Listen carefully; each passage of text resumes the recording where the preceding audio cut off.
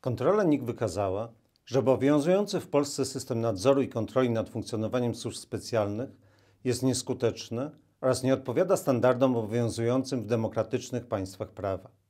Nie zapewnia on efektywnego nadzoru nad realizacją zadań przez służby oraz nie gwarantuje, że w toku ich wykonywania będą przestrzegane obowiązujące przepisy oraz respektowane prawa i wolności obywatelskie. Szczegółowe wyniki kontroli NIK ze względu na bezpieczeństwo państwa muszą pozostać niejawne. Zostały one jednak przekazane najważniejszym osobom w państwie, a także przedstawione przez prezesa NIK na specjalnie zwołanym posiedzeniu Sejmowej Komisji do Spraw Służb Specjalnych. Mając na celu zainicjowanie zmian legislacyjnych, które pozwoliłyby na ustanowienie realnego i skutecznego systemu nadzoru nad służbami specjalnymi, prezes NIK zorganizował także w dniu 15 kwietnia bieżącego roku panel ekspertów z udziałem przedstawicieli rządu, świata nauki oraz organizacji pozarządowych. Uczestnicy spotkania zgodzili się, że obowiązujące w Polsce rozwiązania dotyczące nadzoru nad służbami specjalnymi wymagają pilnych i daleko idących reform. Jako szczególnie istotne uznali rozwiązanie problemu zapewnienia lepszej ochrony praw i wolności obywatelskich. Między innymi poprzez zapewnienie osobom, które były podsłuchiwane, po upływie stosownego czasu, informacji o tym fakcie. Za konieczne uznano również zapewnienie skutecznej, zewnętrznej kontroli nad funkcjonowaniem służb specjalnych. Mam nadzieję, że przeprowadzona przez NIK kontrola oraz trwająca w tym zakresie debata publiczna przyczynią się do wypracowania rozwiązań, które pomogą zreformować ten wyjątkowo ważny obszar funkcjonowania państwa.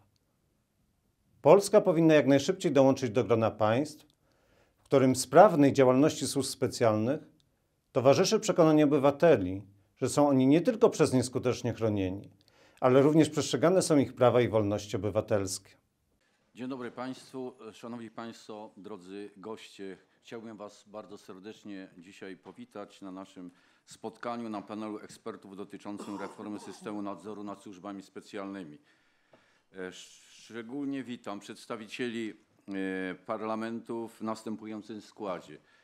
Pana Marka Sawickiego, witam serdecznie pana Tomasza Borkowskiego, pana Janusza Nos, Noseka, Noska, e, przedstawicieli rządu, pana Marcina Mrowickiego, Jacka Sadowy-Sadowskiego, e, Macieja Odrobina, Tadeusza Mataczuna, Krzysztofa Bondaryka, przedstawicieli służb specjalnych, e, panią Urszulę Nalaskowską, przedstawicieli organów centralnych, pana Piotra Drobeka, Stanisława Trociuka, Mirosława Wiklika, e, Adama Pytlarza, Monikę Golik, E, pana Krzysztofa Wójcika, pana Piotra Kowalika, pana Tomasza Nowickiego. Są również z nami pan mecenas e, Marek Małecki oraz przedstawicieli organizacji pozarządowych, pana Wojciecha Klickiego, panią Annę Błaszczak-Banasiak, e, pana Mateusza Kołaszyńskiego, przedstawicieli świata nauki, panią Dobrosławę Szumiło-Kulczycką, panią Barbarę Grabowską-Moros, e, pana Marcina Rajszczaka oraz przedstawicieli prasy, pana Wojciecha Brzezińskiego. E, witam także obecnie na panelu kontrolerów NIK, którzy uczestniczyli w tej kontroli. Celem naszego spotkania, proszę Państwa, jest omówienie propozycji zmian legislacyjnych oraz organizacyjnych, które pozwoliłyby na ustanowienie w Polsce realnego i skutecznego systemu nadzoru nad służbami specjalnymi oraz innymi podmiotami uprawnionymi do prowadzenia czynności operacyjno-rozpoznawczych. Nie ulega wątpliwości, że Polska, tak samo jak inne kraje, musi posiadać sprawnie działające służby specjalne uprawnione do prowadzenia działań operacyjnych, nawet jeśli ich działalność będzie w pewnych sytuacjach ingerować w prawa indywidualnych obywateli. Konieczne jest jednak, aby w demokratycznych państwach prawa funkcjonowały skuteczne rozwiązania o charakterze systemowym, zapewniające realny nadzór i kontrolę nad działalnością podmiotów prowadzących czynności operacyjne. Rozwiązania takie powinny zapewniać rozliczalność działania służb oraz chronić prawa i wolności obywateli. Zakończona w 2023 roku kontrola NIK która dotyczyła tych zagadnień, wykazała, że obowiązujący w Polsce system nadzoru, koordynacji oraz kontroli działalności służb specjalnych jest nieskuteczny oraz nie odpowiada standardom obowiązującym w demokratycznych państwach prawa. Nie zapewnia on efektywnego nadzoru nad realizacją zadań służb oraz nie gwarantuje, że w toku ich wykonywania będą przestrzegane obowiązujące przepisy prawa oraz respektowane prawa i wolności obywateli. Stwarza również warunki, aby osoby kierujące służbami dowolnie definiowały zadania podległych informacji oraz uznaniowo mogły decydować, czy i jakie informacje przekażą organom nadzoru i kontroli na temat ich realizacji. To są ustalenia, proszę Państwa, z naszej kontroli. Stwierdzone w wyniku kontroli okoliczności wynikały z nierzetelnej realizacji zadań przez osoby i podmioty powołane do pełnienia nadzoru nad funkcjonowaniem służb specjalnych. Ich zasadniczą przyczyną były jednak także wadliwe ramy prawno-organizacyjne obowiązującego w Polsce systemu nadzoru i kontroli służb specjalnych. Jestem przekonany, że nasza dzisiejsza dyskusja przyczyni się do wypracowania rozwiązań, które pomogą zreformować ten wyjątkowo ważny obszar funkcjonowania państwa. Jeszcze raz Państwu bardzo dziękuję za przybycie i zapraszam do wysłuchania przygotowanych prezentacji oraz owocnej dyskusji. Dziękuję bardzo. Dziękuję bardzo panie prezesie za krótkie wprowadzenie do naszego dzisiejszego e, panelu, szczególnie na zwrócenie uwagi na kwestię z jednej strony skuteczności działania służb, bo wszystkim nam na tym e, zależy, żeby państwo polskie posiadało skutecznie, sprawnie funkcjonujące służby specjalne, z drugiej strony na kwestię praw i wolności obywatelskich. E, często e, kwestie te są przedstawiane jako pewna alternatywa, czyli wskazuje się, że albo skuteczność służb, albo skuteczny nadzór i kontrola nad nimi. Myślę, że ta kwestia będzie dzisiaj e, przedmiotem ożywionej dyskusji, bo może wcale nie mamy tu do czynienia z alternatywą, a wręcz przeciwnie, oba, oba te rozwiązania mogą wzajemnie się uzupełniać. Natomiast o tym, mam nadzieję, będziemy dyskutować w dalszej części, w naszym panelu dyskusyjnym. Teraz poproszę panią profesor Dobrosławę Małgorzatę Szumiło-Kulczycką e, z profesor Uniwersytetu Jagiellońskiego o wprowadzenie nas do dzisiejszego tematu e, panelu. E, referat pod tytułem Rola i miejsce czynności operacyjno-rozpoznawczych w systemie prawa. Bardzo proszę panią profesor. Dziękuję bardzo. Szanowny panie prezesie, szanowni państwo. Oczywiście w pierwszej kolejności chciałam bardzo podziękować za zaproszenie mnie i powieszenie y, bardzo odpowiedzialnej roli pierwszego, e, pierwszego referatu wprowadzającego, ale przede wszystkim chciałam e, Państwu podziękować za zaproszenie tak wielu znakomitych e, osób, zwrócenie się także do mediów, zwrócenie się do przedstawicieli Parlamentu Polskiego, bo wydaje się, że rzeczywiście jesteśmy już w takim momencie, w którym problem czynności operacyjno-rozpoznawczych, e, problem e, uprawnień państwa i wszystkich kłopotów, które wiążą się w związku z tym na styku z jednej strony potrzeby zapewnienia bezpieczeństwa, z drugiej strony potrzeby zapewnienia po prostu demokratycznych standardów narósł, wyrósł w ostatnim czasie już tak bardzo, że trzeba wreszcie podjąć jakieś konkretne działania ustawodawcze. Proszę Państwa, e, jak na e, referat wprowadzający przystało, ja zacznę trochę od historii rzeczy najbardziej ogólnych. Tak naprawdę czemu mają służyć czynności operacyjne e, i kiedy to wszystko się u nas poplątało. Proszę Państwa, tak naprawdę te problemy, przed którymi my stoimy, nie są w żaden sposób sytuacją nową w historii uprawnień inwigilacyjnych policji i służb specjalnych. W latach 50., to jest wtedy, kiedy tworzy się koncepcja praw człowieka w Europie, rozpoczyna się bardzo duża dyskusja e, na temat tego, kiedy państwo w ogóle może być uprawnione do tego, aby wnikać i pozyskiwać informacje o osobach. I to jest ten moment, kiedy zaczęto sobie stawiać pytanie, czy tą cenzurą czasową może być przestępstwo, czy też istnieją okoliczności, które uzasadniają wcześniejszą ingerencję, wcześniejsze obejmowanie konkretnych jednostek inwigilacyjnymi działaniami państwa. Dość szybko, zwłaszcza w latach 60., kiedy dochodzi do pierwszych spektakularnych aktów terrorystycznych e, w Niemczech, w Europie Zachodniej, oczywistym i jasnym staje się, że e, państwo nie może e, powstrzymywać się ze zbieraniem informacji o obywatelach, nie może powstrzymywać się z prowadzeniem swojej działalności aż do momentu, kiedy dojdzie do popełnienia przestępstwa. I proszę Państwa, jeżeli weźmiemy pod uwagę System niemiecki to tam jest bardzo prosta cezura. Z jednej strony cenzurą to jest dokładnie moment popełnienia przestępstwa. Do momentu popełnienia przestępstwa wkraczamy w obręb czynności procesowych, tych, które wykonywane są przez prokuratora, e, pod większą albo mniejszą w okresie postępowania przygotowawczego kontrolą sądu i później w całości kontrolowane przez sąd w toku postępowania sądowego. Wszystko to, co dzieje się wcześniej, to czynności operacyjne. E, Tutaj model kontroli nad czynnościami operacyjnymi w systemie prawa niemieckiego jest mieszany, on jest administracyjno-sądowy, na niektóre czynności, te najbardziej inwigilacyjne, jak podsłuchy i pozyskiwanie informacji z pomieszczeń, E, Potrzebna jest zgoda sądu, e, ale też jest wyodrębnienie, to o czym jeszcze powiem, bardzo silne w systemie prawa niemieckiego na czynności podejmowane celem ścigania przestępczości, normalnej pospolitej przestępczości, czyli czynności policyjne, a czynności związane z zapewnieniem bezpieczeństwa organów konstytucyjnych państwa, integralności, niepodległości państwa, czyli stricte czynności specjalne. I to jest, proszę Państwa, taki e, model wyróżniania właśnie czynności operacyjnych poprzez cel, tak? E, Inny model, powiedziałabym, że właściwie taki pokutujący ciągle z okresu PRL-owskiego, a mianowicie typowy dla państw, które e, miały skłonności, czy miały te epizody autorytarne w swojej historii, to model, który wyróżnia czynności operacyjne poprzez formę.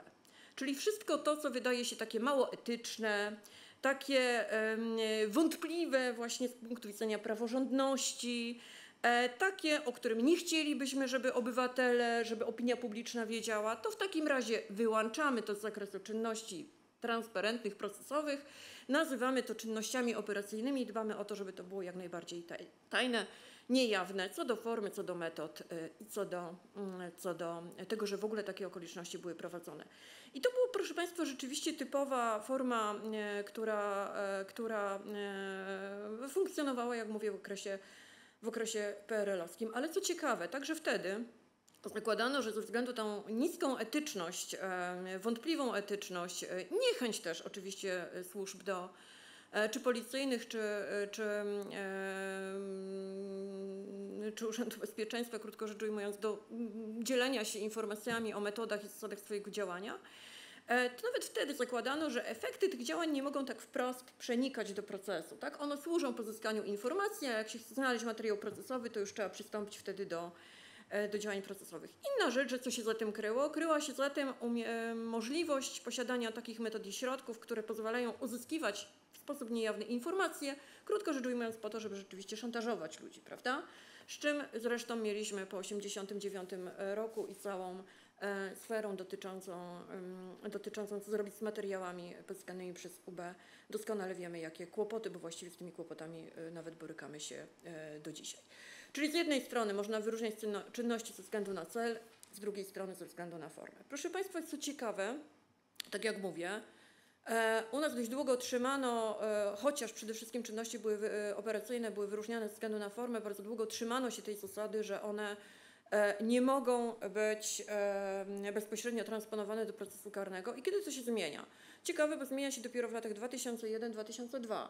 Paradoksalnie zmieniło się to pod wpływem takiego nurtu praworządnościowego, to znaczy przyjęto, że e, no, skoro staliśmy się demokratycznym państwem prawa, to już nie może być tak, że metody e, działania pracy operacyjnej są tajne i e, są zawarte w tajnych instrukcjach komendantów milicji. E, trzeba je e, sformalizować, dać im podstawę prawną w ustawie. No i skoro zdano im już podstawę prawną w ustawie, e, to w miarę upływu czasu zaczęto dochodzić do wniosku, że no, nie, nie ma już dalszych powodów, żeby efekty tej pracy operacyjnej nie mogły być bezpośrednio i łatwo transponowane do procesu. Tu oczywiście nakłada się kilka innych em, charakterystycznych dla tego e, zjawisk i, e, o, i, i, i, i E, I em, sytuacji, no przede wszystkim postęp technologiczny, prawda, czyli łatwość rzeczywiście już uzyskiwania takich e, dowodów jak e, dowody z nagrań, w miarę upływu czasu także dowody z, uzyskiwane przy pomocy środków łączności elektronicznej, które mają rzecz jasna bardzo szeroki zakres tych danych, które można pozyskiwać. I proszę Państwa, taki paradoks, że z chwilą, kiedy stworzono instytucję kontroli operacyjnej i powierzono e, kontrolę nad stosowaniem kontroli operacyjnej sądom, e, rozpoczął się też ten moment, moim zdaniem, e, od którego trzeba by wyjść przy reformie, to znaczy moment destrukcji polegający na tym, że pomieszane została sfera rzeczywiście czynności operacyjnych, tych podejmowanych przez służby specjalne, których celem jest zapewnienie bezpieczeństwa, z zwykłymi czynnościami policyjnymi dotyczącymi ścigania konkretnych e, przestępstw. A różnice, proszę Państwa, są fundamentalne. Mm, Oczywiście, jeżeli chodzi o cele, ale przekładają się także na e, nasz sposób myślenia o, e, o tym, jak zdefiniować, e, jak ułożyć ramy prawne dla poszczególnych czynności, bo oczywistym jest, że zupełnie inne ramy będą potrzebne dla prowadzenia stałej działalności wykrywczej, tam gdzie chodzi o działalność związaną z działalnością wywiadowczą, e, z rozpracowywaniem osób podejrzewanych o szpiegostwo i tutaj e, stosowanie metod, że taką osobę można objąć kontrolą na trzy miesiące, z przedłużeniem na trzy miesiące i tak dalej, to przestaje być, szczerze powiedziawszy, zupełnie efektywne, prawda? Z drugiej strony, jeżeli mamy rozpracowywać kogoś podejrzewanego o to, że e, działa jako, mm, jako em, członek e, szejki zajmującej się kradzieżą e, dziełami sztuki, no to dla odmiany nie widzimy żadnego powodu, żeby wieloletnio pozwalać tak, na inwigilowanie takiej osoby. Czyli ta różnica jest chociażby tutaj bardzo istotna. Kwestia ujawnienia faktu, prawda, że ktoś był obiektem em, tego typu wrażliwych metod. Tam, gdzie chodzi o pracę operacyjną, wywiadowczą, sensu stricto, nie sposób sobie nawet wyobrazić długofalowo.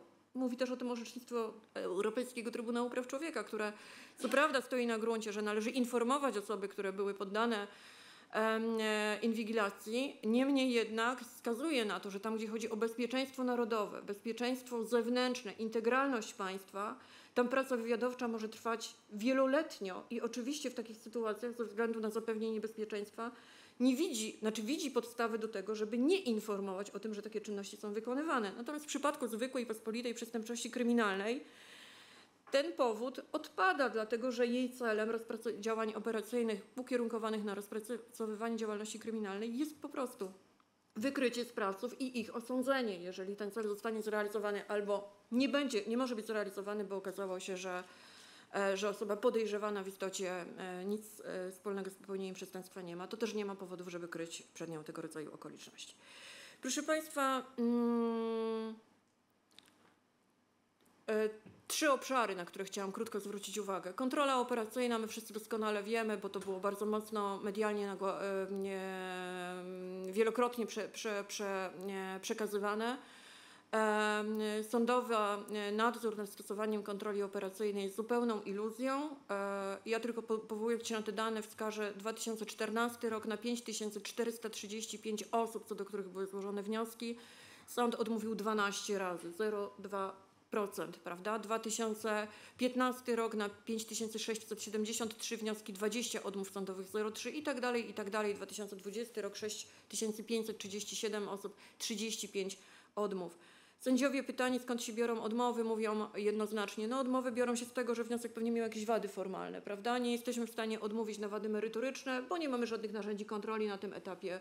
Jeżeli jest dobrze sporządzona notatka przez, em, na uzasadnienie przedłożona przez e, funkcjonariuszy, którzy ubiegają się o kontrolę, to my tego zweryfikować w żaden sposób nie możemy.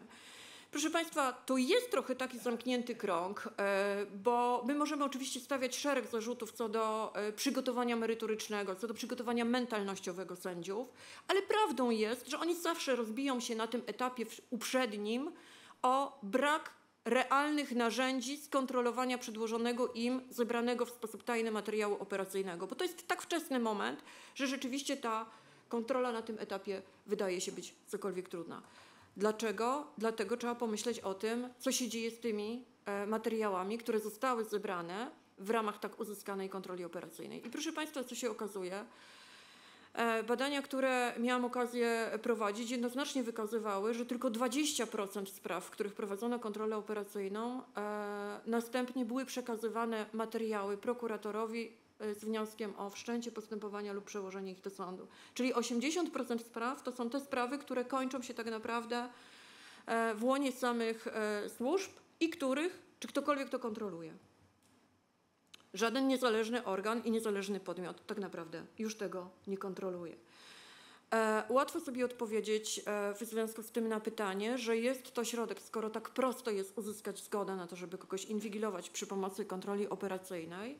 E, a w zasadzie nie ma nawet mechanizmu, który pozwala zbadać, czy te 20 spraw, które zostały przełożone, których materiały zostały przedstawione prokuratorowi celem dołączenia ich e, do postępowania albo wszczęcia postępowania, czy to są wszystkie, czy też w puli tych 80 jest cała grupa, które taki charakter by miały, ale z różnych przyczyn, często usprawiedliwionych chociażby pracą wywiadowczą, jednak się na to nie zdecydowano, prawda? Tego w zasadzie, tego nikt tutaj nie kontroluje. To jest tylko i wyłącznie sfera i domena zamknięta w mm, ramach samych służb.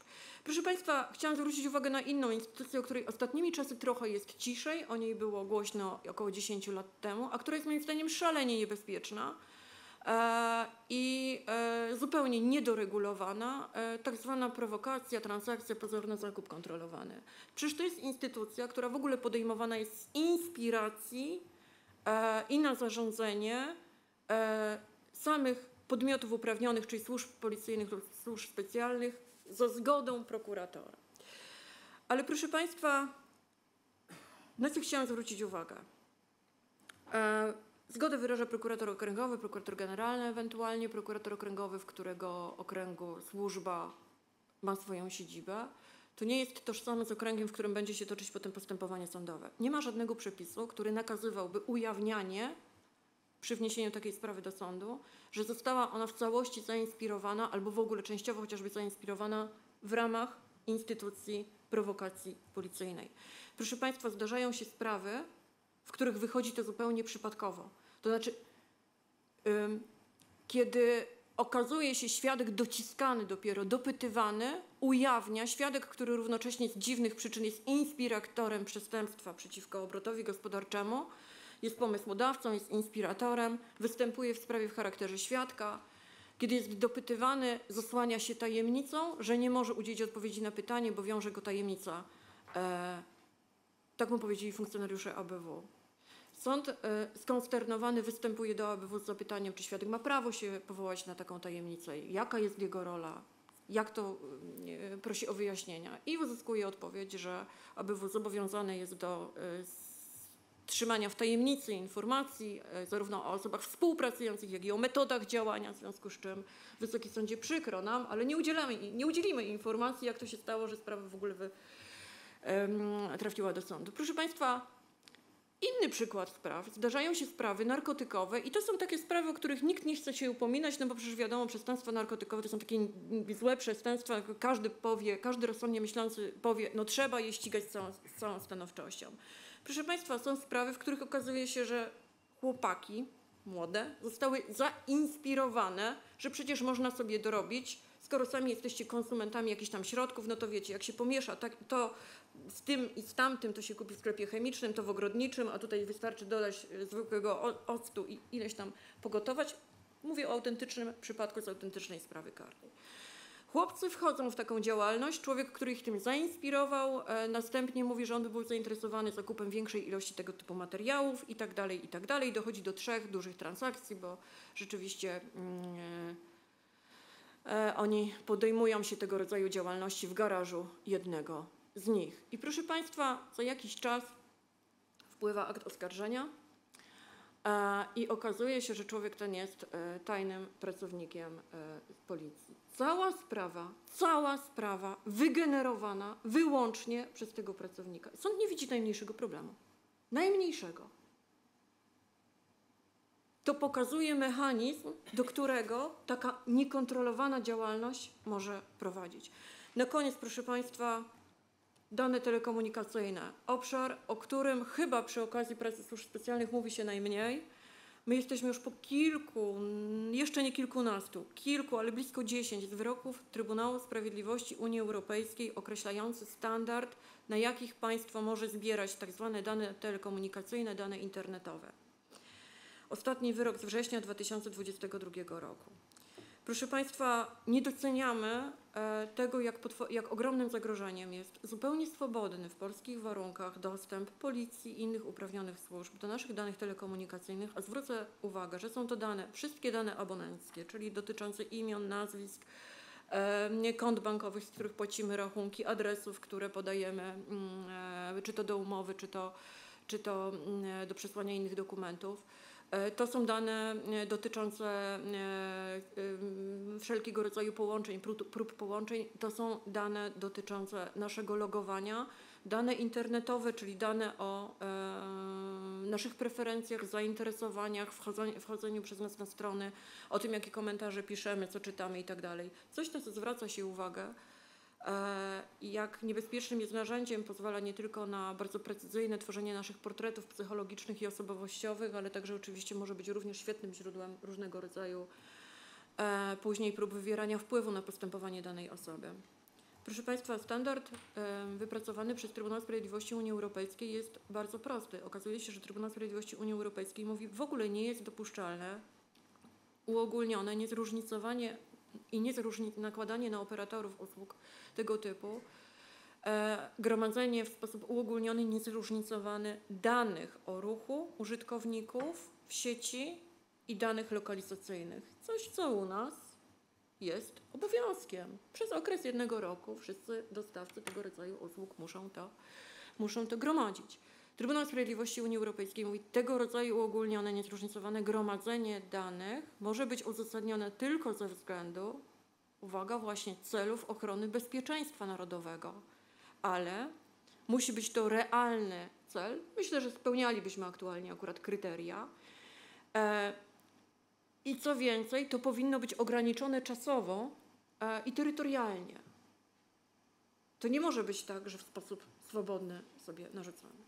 Jeżeli chodzi o e, indywidualne, albo no może nie tyle indywidualne, ale już skonkretyzowane zobowiązanie do dostawców usług telekomunikacyjnych i internetowych gromadzenia określonych danych, to one muszą spełniać określone kryteria.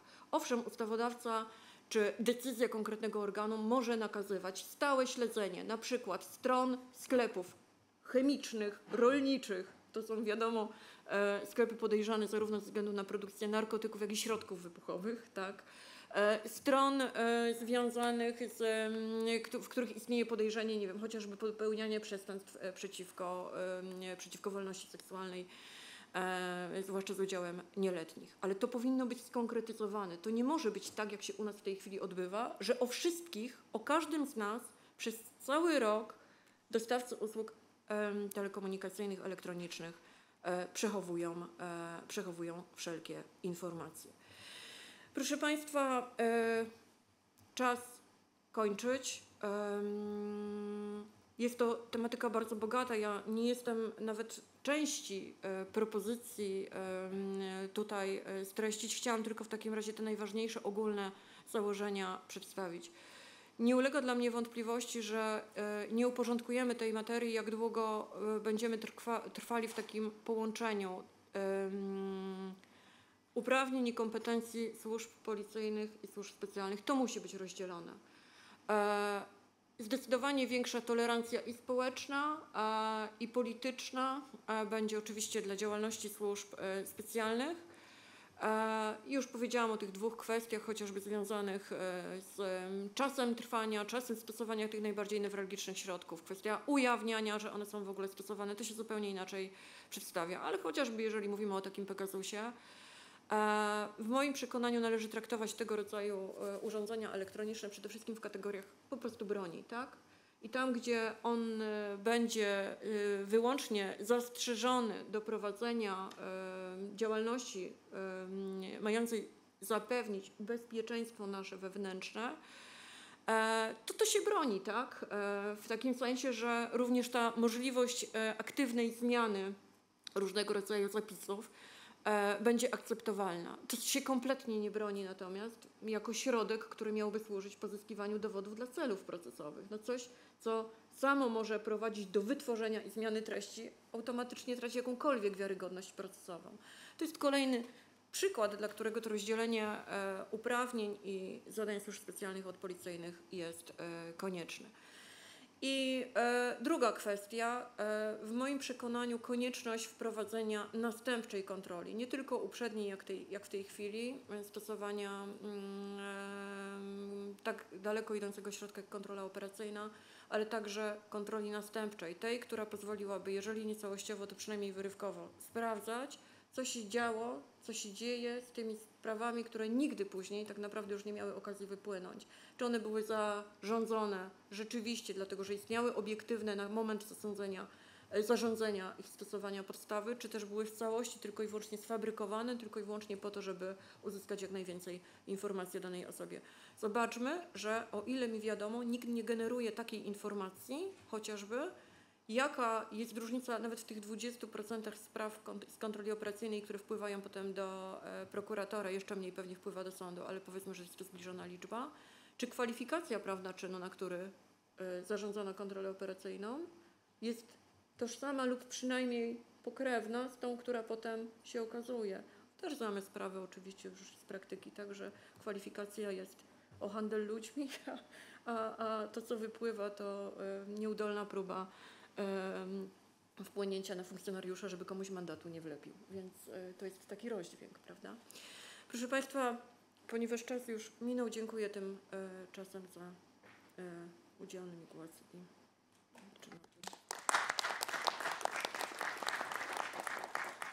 Bardzo dziękujemy Pani Profesor za wprowadzenie nas do tematu dzisiejszego spotkania, szczególnie na zwrócenie uwagi na ten kontekst historyczny, międzynarodowy omawianego e, problemu, a także na kwestie choćby kontroli sądowej, czy też przełożenia tej pracy operacyjnej, później na materiały sądowe. E, Bardzo ciekawe również dane z e, prac e, badawczych pani, pani profesor. Liczymy też na aktywny głos pani profesor w tej części dyskusyjnej, która będzie poświęcona właśnie kwestiom zmian, wypracowaniu pewnych rozwiązań. Także bardzo dziękuję i teraz poprosiłbym o zabranie głosu pana profesora Marcina Rojszczaka z Politechniki Warszawskiej. E, Temat wystąpienia inwigilacja elektroniczna w Polsce, zarys problemu. Tutaj pani profesor nawiązała już do kilku mm, elementów, natomiast e, pan profesor e, rozszerzy i, i pogłębi tą kwestię, która dzisiaj właśnie jest taką najbardziej chyba dojmującą i dotykającą warstwą, jeśli chodzi o, o kwestie pracy operacyjnej. Proszę bardzo, panie profesorze. Witam Państwa serdecznie, bardzo dziękuję za zaproszenie. Także dziękuję za możliwość wypowiedzi. Proszę Państwa, tytuł mojego wystąpienia, jak to żona skomentowała, to jest najnu- naj- najnudniejszy na świecie. Konsultowałem z nią, czy taki tytuł kogoś zainteresuje. Stwierdziła, że wszyscy zasną, natomiast jednocześnie przy takim tytule mogę powiedzieć wszystko i zawsze będzie pasowało.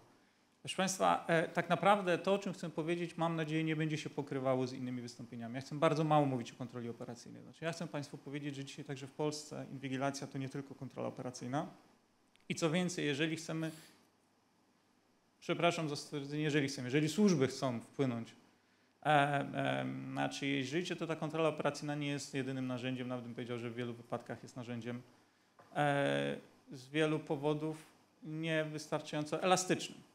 E, My jesteśmy przyzwyczajeni do znaku równości. Inwigilacja równa się kontrola operacyjna. Dzisiaj spotkaliśmy się mówiąc, z, ym, ym, dyskutując na temat tego raportu i mówiąc o tym, jak uporządkować polski model prawny w zakresie kontroli operacyjnej. Nie ma wątpliwości, że trzeba to zrobić. Znaczy, y, niezależnie co ja tu za chwilkę dalej powiem, nie mam cienia wątpliwości, że regulacje, krajowe regulacje w zakresie stosowania przepisów dotyczących kontroli operacyjnej i procesowej wymagają głębokiej zmiany, ale one wymagają głębokiej zmiany wielu lat. Tak? Znaczy, wyroki, które pani profesor także wskazywała, Europejskiego Trybunału Praw Człowieka mm, w sprawie Huwik, e, to jest 30 lat. No to od 30 lat mniej więcej jakby wiadomo, co powinniśmy zrobić i jakby tego nie zrobiliśmy, mniej lub bardziej. W związku z czym to jest jasne, to, to jakby tego w żaden sposób nie kwestionuję. Natomiast chciałem Państwu pokazać, że w ostatnich latach inwigilacja w Polsce to nie tylko kontrola operacyjna.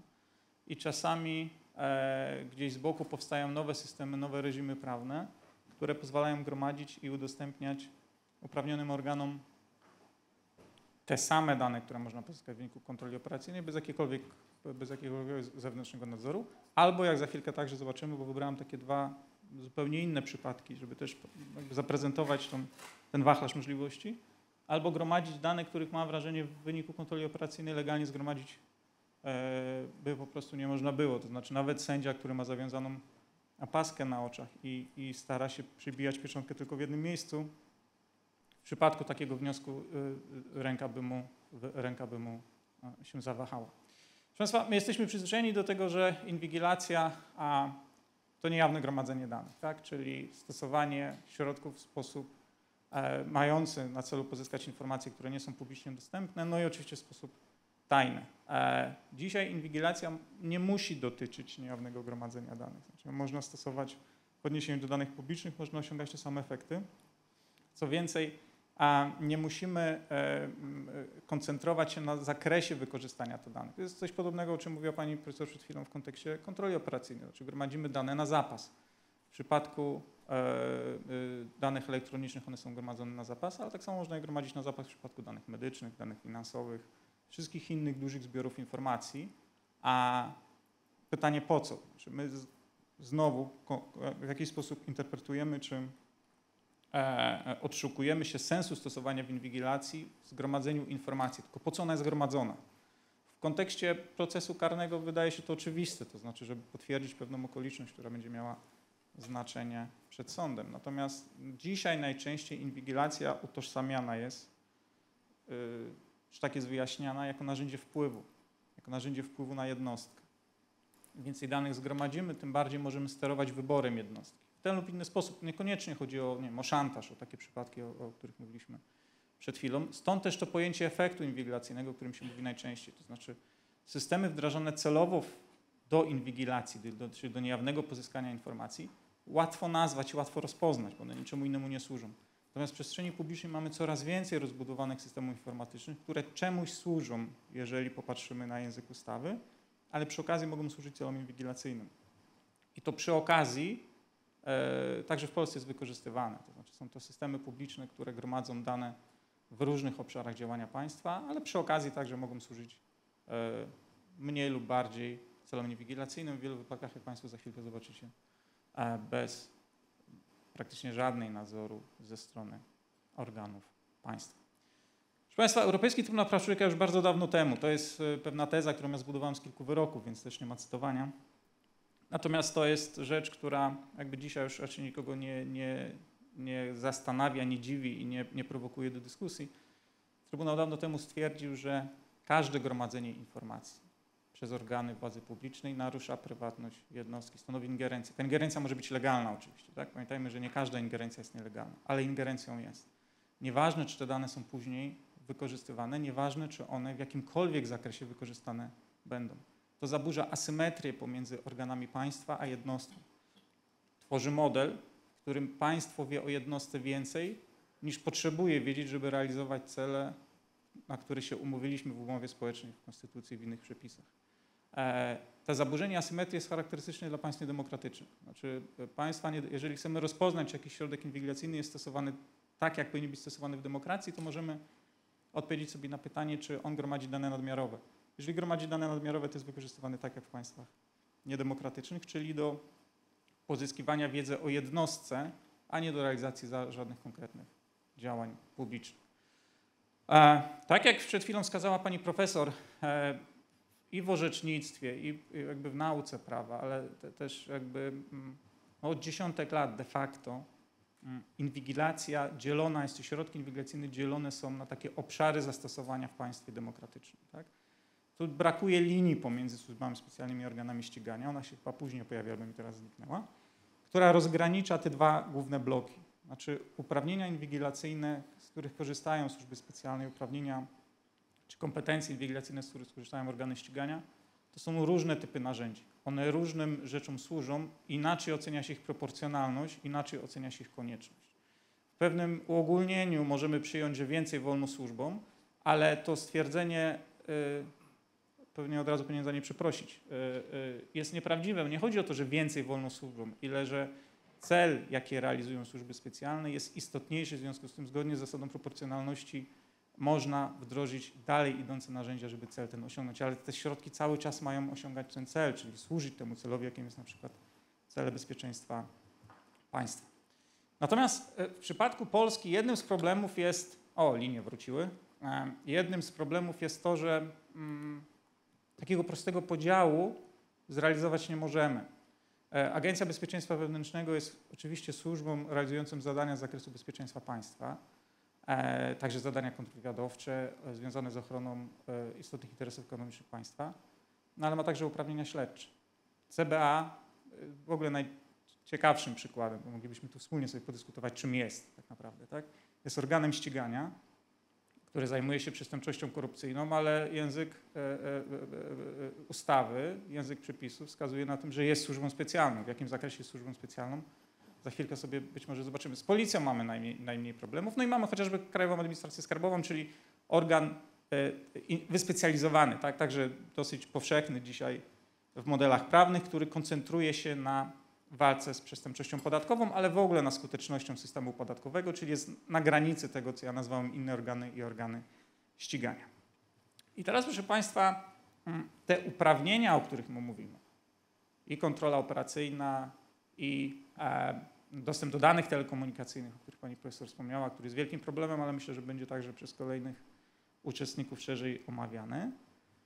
E, to są konkretne formy, które są stosowane i zazwyczaj przypisane są w polskim prawie czy mo możliwość z jego korzystania jest przypisana, mm, nadana konkretnym służbom, konkretnym agencji. Jeżeli one realizują funkcje przecinające te dwa bloki, o których mówiliśmy przed chwilą, czyli bezpieczeństwa państwa i, e, i ochrony porządku, czy walki z przestępczością, to pojawia się pytanie, jaki standard oceny mamy przyjąć, żeby uznać, czy te środki są wykorzystywane w sposób proporcjonalny, czy nie. Tym problem mamy od dawna w Polsce. Tak? Mówiąc o kontroli operacyjnej, też musimy się zastanowić, czy mówimy o kontroli operacyjnej stosowanej przez ABW w obszarze bezpieczeństwa państwa, e, czy mówimy o kontroli operacyjnej stosowanej przez ABW w obszarze, e, który znajdzie rozwinięcie w, w działaniach czy, czy przedsądnych, w działaniach karnych. Tak? E, inne środki, inna proporcjonalność, inna niezbędność podejmowania tych środków. Natomiast to, o czym ja chciałem mówić, co zasygnalizowałem wcześniej, to jest ten trzeci blok czyli coś, co się nazywa systematycznym gromadzeniem danych przez organy publiczne. E, najczęściej w ogóle nie nazywa się ich środkami inwigilacyjnymi. E, ten termin w Polsce, tak jak mówiłem, jest zarezerwowany de facto dla kontroli operacyjnej. Nawet retencja danych, czyli dane telekomunikacyjne, nie nazywa się inwigilacją. Zupełnie nie wiem dlaczego, natomiast, e, natomiast tak jest. Proszę Państwa, e, chciałem podać dwa przykłady. Pierwszy przykład dotyczący danych finansowych. E, to są, to są e, przykłady, których mamy z ostatnich lat, ich jest dużo więcej. Naprawdę możemy po różne przepisy sięgnąć i odnaleźć przypadki, gdzie służby specjalne mają dostęp do danych, które de facto, mm, do których dostęp już miały, tylko w trudniejszy albo bardziej skomplikowany sposób niż obecnie. STIR to jest system, który został wdrożony 6-7 e, lat temu system potrzebny, tak, żeby to było jasne, ja nie kwestionuję potrzeby istnienia narzędzi takich jak STIR. Pewnie tak samo nikt rozsądnie myślący nie kwestionuje potrzeby uszczelniania systemu podatkowego, walki z karuzelami VAT-owskimi e, i wszystkimi innymi negatywnymi e, e, e, zjawiskami, czasami gdzieś na granicy też przestępczości międzynarodowej. Więc STIR, proszę Państwa, służył temu celowi, służy nadal jest wyspecjalizowanym narzędziem, który gromadzi, jest wykorzystywany przez Krajową Administrację Skarbową, tak, tak zwanych analiz wskazujących, w jakich fragmencie polski system finansowy może być wykorzystywany, na przykład do prania pieniędzy. Do prania pieniędzy to akurat nie wiem, ale do, do karuzel e, czy do przestępstw e, finansowych. Ten system gromadzi gigantyczną liczbę informacji. Banki są zobowiązane każdego dnia przekazywać wszystkie transakcje, jakie odbywają się w polskim systemie finansowym do STIR-u. Co oznacza, że w tym systemie gromadzone są miliardy transakcji każdego roku. Miliardy. Dzisiaj to chyba nawet więcej niż miliard, znaczy w sensie to mogą być dziesiątki miliardów. Jak Państwo widzicie, ta informacja ostatnia, którą ja mam, to jest 6,3 miliarda z 2019 roku. E, rocznie to jest 170 razy ludność Polski. Tak? Tyle danych trafia do STIR. Każda państwa operacja, może nie każda, tylko nie mam gwiazdkę zrobić. Zaraz wyjaśnię. Takie ogólnienia fajnie się cytuje, ale potem okazują się nieprawdziwe. Część z Państwa operacji trafia do STIR-u, e, jeżeli wykonujecie je z przedsiębiorcami albo sami prowadzicie działalność gospodarczą. Jeżeli sami prowadzicie działalność gospodarczą, to wszystkie. Jeżeli płacicie ze swojego konta za chleb, płacicie za lekarza, opłacacie dziecku przedszkole, wpłacacie na panoptykon. E, nie trzeba, proszę Państwa, w Polsce wprowadzać przepisów, które powiedzą, kto sponsoruje panoptykon, bo te dane są w STIR-ze, je można codziennie jednym raportem. Auto, zresztą amnesty obok tak samo Także to jakby w tym zakresie Putin ma gorzej. E, on musiał do tego zrobić ustawę, my nie musieliśmy zrobić ustawy. I teraz dlaczego STIR jest problemem? Czy może być problemem? Nie dlatego, że walczymy z przestępcami, bo on do tego służy.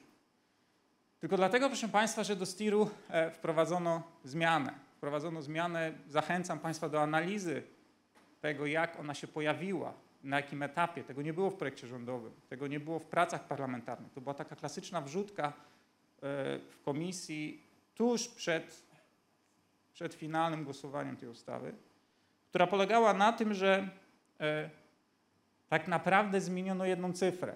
To prawie lub czasopisma, tylko że z lub czasopisma dłuższy napis. Tutaj była jedna cyfra, a której skutkiem była zmiana podstawy dostępu do danych ze STIR-u przez ABW i CBA. Wcześniej dostęp do tych danych był realizowany tak samo jak dostęp do danych bankowych, czyli wymagał zgody sądu. E, Po tej zmianie ten dostęp jest realizowany z wykorzystaniem systemu informatycznego i nie podlega żadnemu nadzorowi. Tak naprawdę, jeżeli ja dobrze pamiętam, to panie prezesie, jedyna osoba, która ten nadzór może zrobić, to jest prezes Urzędu Ochrony Danych Osobowych i NIK właśnie, tak swoją drogą. Także jakbym powiedział, że żadnemu nadzorowi, to znowu się, to znowu się e, rozminąłem z prawdą, ale nie podlega żadnej kontroli sądowej. Tak? Dostęp do danych bankowych podlega kontroli sądowej, dostęp do tych samych danych w STIR-ze nie podlega kontroli sądowej. Jest realizowany z wykorzystaniem systemu y, e, e, elektronicznego, co oznacza, że ABW i CBA ma stały i ciągły dostęp do wszystkich danych finansowych, które są gromadzone w Krajowym Systemie Finansowym, bez jakiejkolwiek i żadnej kontroli, bez żadnego wniosku, bez żadnego uzasadnienia, w ogóle bez czegokolwiek. To jest też odpowiedź na pytanie, z panem profesor wcześniej rozmawialiśmy, dlaczego ten Białystok tam tak dużo wniosków, oni tam pewnie nie wiedzą? Prawda? A w innych częściach kraju już być może wiedzą, że nie muszą o to występować. Proszę Państwa, szokuje nie tylko ten tryb dostępu, no bo po co mamy w ustawie ABW odrębny tryb dotyczący danych bankowych, jeżeli dajemy dostęp do STIR, gdzie te same informacje są sięgane bez żadnej kontroli. Ale szokuje sposób przyjęcia tej zmiany. Naprawdę polecam popatrzenie, jak ta zmiana pojawiła się w tej ustawie, w jakim trybie, jaka była. E, e, znaczy uzasadnienia nie było żadnego, bo to było w komisji po prostu zmiana, zmiana literki. Tak? Te przepisy zmieniły się o jedną cyferkę. No tu widzimy głosowanie. E, wszystkie partie poparły tę zmianę. Tak? Wszystkie partie poparły tę zmianę. To też warto pamiętać. Ja często słyszę, znowu ja ja zazwyczaj mówię rzeczy niepopularne, przepraszam za to, ale ja często słyszę, prawda, że ta albo inna partia jest bardziej bliska inwigilacji. Nie, wszystkie partie są bliskie inwigilacji w Polsce. Jakby polski model prawny uwielbia inwigilację i wzmacnia ją od lat bez zmian. No ale to jest STIR. Natomiast chciałem Państwu pokazać coś, co jest jeszcze bardziej widowiskowe moim zdaniem. Znaczy, gdzie w STIRze można to tłumaczyć, można powiedzieć, że ABW wierzymy, że ta służba jest uczciwa, nie mamy powodów nie, nie wierzyć i walczy tylko z poważnymi przestępstwami zagrażającymi państwu i korzysta z TIR-a tylko w tym zakresie. Tak? To jest oczywiście nasze prawo tak uznać. Chciałem Państwu pokazać inną zmianę ustawową, polegającą, i to zobaczcie jak odległym temacie, na in vitro. Teraz moglibyście powiedzieć, co ma inwigilacja z in vitro. Moi studenci też tak mówią. Oni są zazwyczaj dużo młodsi, więc oni, dla nich jakby mm, w ogóle oba te tematy są absurdalne. Natomiast no, my jesteśmy trochę starsi, doświadczeni życiowo, więc Państwo się domyślacie, że pewnie coś będzie miała, skoro jest ten slajd. Otóż mamy e, ustawę z 2015 roku zresztą o in vitro. O niej jakby więcej mówić nie będę. Ta debata publiczna niech sobie zostanie z boku. Natomiast w ramach tej ustawy wprowadzony został specjalny środek polegający na rejestracji w aktach stanu cywilnego informacji o tym, że dziecko, które będzie poczęte, będzie poczęte z zastosowaniem metody in vitro. To jest specjalne, specjalne e, kilka w sumie oświadczeń, jedno, jedno to jest uznanie ojcostwa, a tam też trafiają inne dokumenty. I to jest rejestrowane w aktach stanu e, cywilnego. Czyli w aktach stanu cywilnego odnotowana jest informacja, że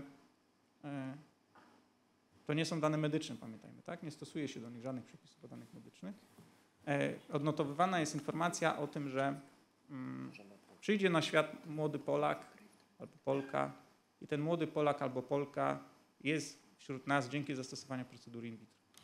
Ta informacja z akt stanu cywilnego nie znika nigdy. E, Ustawodawca przyjął tryb wprowadzenia tej informacji, ale nie przyjął trybu jej usunięcia. Jedyny sposób jej usunięcia to jest, jeżeli dziecko się nie urodzi, ona po dwóch latach podlega usunięciu. Natomiast w przypadku, jeżeli dziecko się urodzi, stosujemy przepisy ogólne, e, e, ona, ona tam w rejestrze uznań będzie po wieki. Jak Państwo widzicie, od zawsze dostęp do rejestru posiadają służby specjalne. A jak widzicie, przepis 5a, zwłaszcza te osoby, które są prawnikami, no jakby domyślacie się, że to jest kolejna wrzutka po artykule 5, który pojawił się jednak w pewnym momencie, rozbudowując listę organów uprawnionych. E, Zresztą widzicie, że to jest z 2018, tak? gdzie, gdzie ten katalog organów uprawnionych się pojawił. Więc proszę Państwa, ja zadałem e, e, wystąpienie z wnioskiem o dostęp do informacji publicznej do ministra cyfryzacji, żeby się dowiedzieć, które służby specjalne mają dostęp do rejestru uznań. E, No i patrzycie na decyzję dotyczącą agencji wywiadu. Chyba ja niestety tego nie widzę. Tak, agencja wywiadu. I to jesteśmy w stanie zrozumieć. Nie wiem, być może agencja wywiadu szuka kompromatów na Polaków. E, I Centralne Biuro Antykorupcyjne. To są te dwa. Jeżeli mielibyście wątpliwość, czy na pewno też rejestr uznań, to to jest fragment odpowiedzi z Ministerstwa Cyfryzacji. Podmioty dysponują dostępem do przeglądania aktów stanu cywilnego widniejących w rejestrze, w tym również do rejestru uznań. I teraz, proszę Państwa, jakby kończąc mój blok, bo zaraz wrócimy do kontroli operacyjnej, już nie będziemy więcej mówili zapewne o o in vitro, e, to zachęcam Państwa do takiej refleksji, do tworzenia ustawy o Centralnym Biurze Antykorupcyjnym i odnalezienia w tej ustawy, w tej ustawie fragmentu jakiegokolwiek w zakresie działania tego biura, które uzasadnia gromadzenie danych na temat zdrowia Polaków tak wrażliwych i na temat y, y, danych dotyczących sposobu poczęcia dziecka. Znaczy walka z jakim przestępstwem uzasadnia gromadzenie danych na temat korzystania z procedury in vitro w Polsce i udostępniania tych danych Centralnemu Biuru Antykorupcyjnemu. Ja nie znam żadnego innego państwa na świecie, też tak wielu ich nie znam, ale z tych modeli prawnych, które znam, nie znam sytuacji, w której tego typu dane bez żadnej kontroli, żadnej, tak, tu nie ma żadnego wniosku. Jeżeli CBA chce mieć listę dzieci, które z in vitro się w zeszłym roku urodziło, naciska Enter i ma. Jaka jest, jaka jest niezbędność, proporcjonalność? Tak? W jaki sposób budujemy państwo prawa, budując przepisy, które służą wyłącznie gromadzeniu, no właśnie czego? No myślę, że normalni ludzie i uczciwi ludzie nawet by tego do kompromatów nie wykorzystali, tego typu informacji.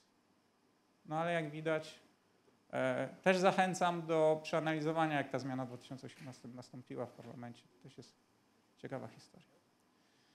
Okej, proszę Państwa, takich przykładów jest więcej. Ja podałem dwa. W ostatnich latach przepisy takie pseudo-inwigilacyjne, czyli takie, w których efekt inwigilacyjny jest oczywisty, pączkowały. W ostatnich latach, wielu latach. No nie, nie, proszę mi wierzyć, to, to jest trend, który w Polsce zawsze w jedną stronę działa. W związku z czym, tak jak powiedziałem wcześniej, kontrola operacyjna jest bardzo ważna, istotna, ona nie załatwia całej inwigilacji. Już kończąc, bo y, przekroczyłem czas, proszę zwrócić uwagę, bo o tym też chyba dzisiaj nikt nie będzie mówił. Mm. Przez chwilę nam się pojawiła agencja wywiadu, ABW było trochę wcześniej. Kompetencje obu tych służb w zakresie stosowania inwigilacji, one są praktycznie blankietowe.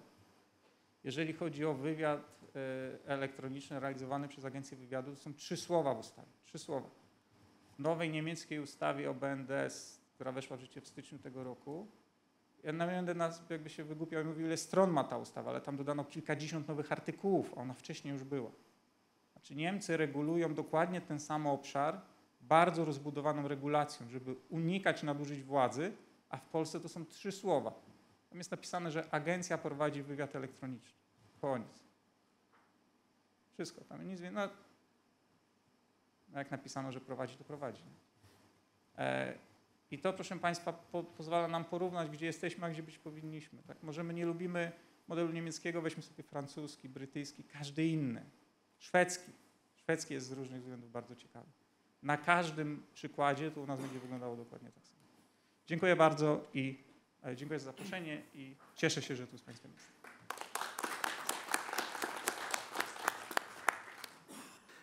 Teraz bym poprosił pana Wojciecha Klickiego z e, Fundacji e, Panoptykon e, o wygłoszenie referatu dotyczącej inwigilacji przez służby specjalne. Mm, Podtytuł O czym mówimy i w czym tkwi problem? Perspektywa praw człowieka i organizacji e, społecznej. Bardzo proszę. E, Dziękuję panie dyrektorze, dzień dobry państwu, dziękuję za zaproszenie i możliwość e, zabrania głosu. Ja postaram się w pewnym sensie uzupełnić obraz, który rozrysowali moi znakomici przedmówcy. W tym sensie moje, moje zadanie jest trochę trudne.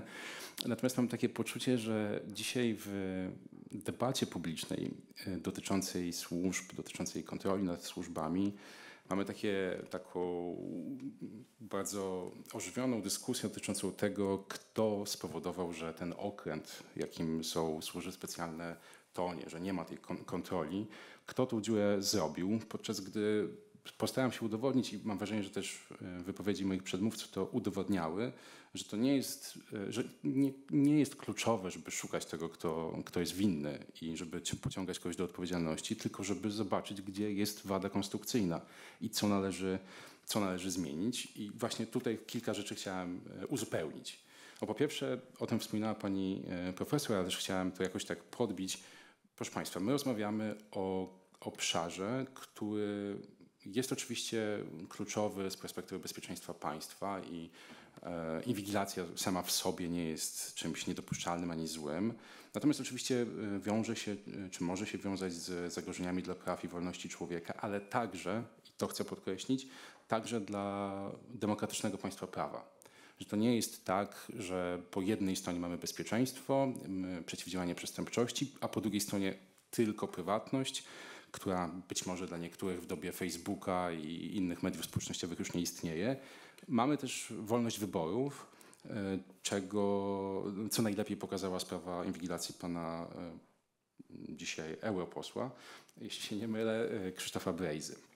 No ale uzupełniając ten obraz, rzecz, która, która moim zdaniem na pewno wymaga jakiegoś dostrzeżenia, to jest to, że mamy oczywiście kontrolę operacyjną, mamy dostęp do danych telekomunikacyjnych, no ale mamy też właśnie ten nieskatalogowany bliżej zakres e, metod, znaczy metody pracy operacyjnej.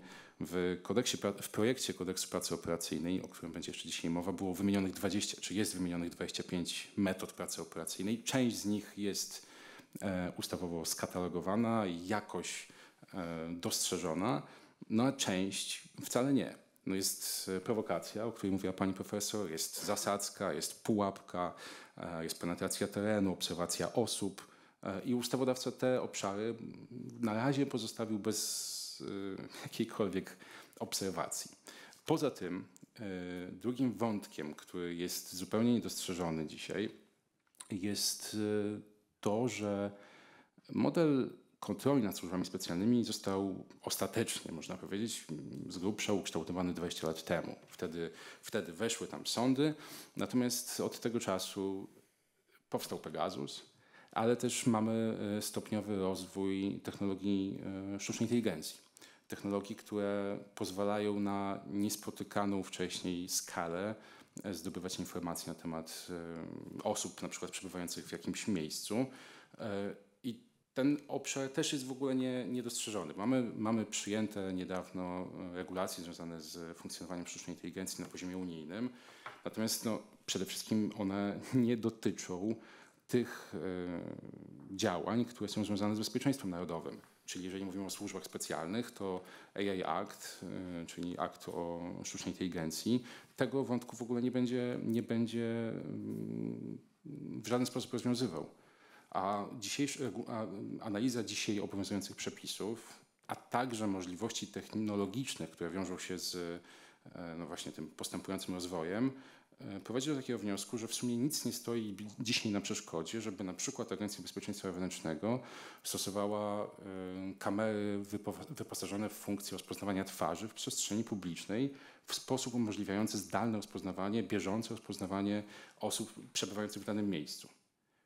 Być może w niektórych okolicznościach, w niektórych miejscach, momentach takie, taka technologia byłaby przydatna, ale na razie nie wiemy, czy jest ona stosowana, a na pewno, jeżeli jest stosowana, to nie jest stosowana pod jakimkolwiek zewnętrznym, e, zewnętrznym nadzorem. E, ważnym też punktem do takiego rozrysowania, tego uzupełnienia tego obrazu jest to, co, o czym wspominał Pan Rzecznik, to znaczy ustawa o działaniach antyterrorystycznych no, mamy w tej chwili w Polsce obowiązujące przepisy, które traktują osoby nie mające polskiego obywatelstwa jako ludzi drugiej kategorii. Ludzi drugiej kategorii, którym nie przysługuje taka sama ochrona prywatności, jak przysługuje y, obywatelom i obywatelkom Polski, ponieważ y, co by nie mówić o sądowej kontroli nad stosowaniem kontroli operacyjnej, tam jak, jakiś nadzór sądowy jest. A jeżeli Agencja Bezpieczeństwa, czy szef Agencji Bezpieczeństwa Wewnętrznego uzna, że cudzoziemiec e, jest podejrzewany o terroryzm bądź szpiegostwo, to może go, e, może go inwigilować e, bez konieczności uzyskiwania zgody sądu. I jeszcze ostatni element w ramach takiego uzupełniania tego, tego obrazu. A on dzisiaj akurat nie został poruszony, to jest kwestia tego, że y, mamy w Polsce wadliwie i bardzo y, w taki niekorzystny z perspektywy praw i wolności obywatelskich sposób wdrożone przepisy unijne dotyczące ochrony danych osobowych. Słysz- Słyszeliście Państwo na pewno o roz- rozporządzeniu o ochronie danych osobowych. Jest jeszcze druga, druga część tej reformy, czyli e, dyrektywa dotycząca ochrony e, danych osobowych w kontekście mm, przeciwdziałania przestępczości i ona została implementowana do polskiego porządku prawnego w taki sposób, żeby nie działać. Już mówiąc tak najbardziej ogólnie, nie działać e, i w efekcie na przykład Agencja Bezpieczeństwa Wewnętrznego została wyłączona spod jakichkolwiek przepisów dotyczących ochrony danych osobowych. Zmiany jakby poszły w odwrotnym kierunku niż miały, niż miały iść. Nawiązując jeszcze do tytułu mojego wystąpienia, perspektywa organizacji społecznych, bo mówimy o kontroli sądowej, o ewentualnie kontroli ex post. Jest jeszcze element y, kontroli, jaki powinien funkcjonować w demokratycznym państwie prawa, to znaczy kontrola społeczna.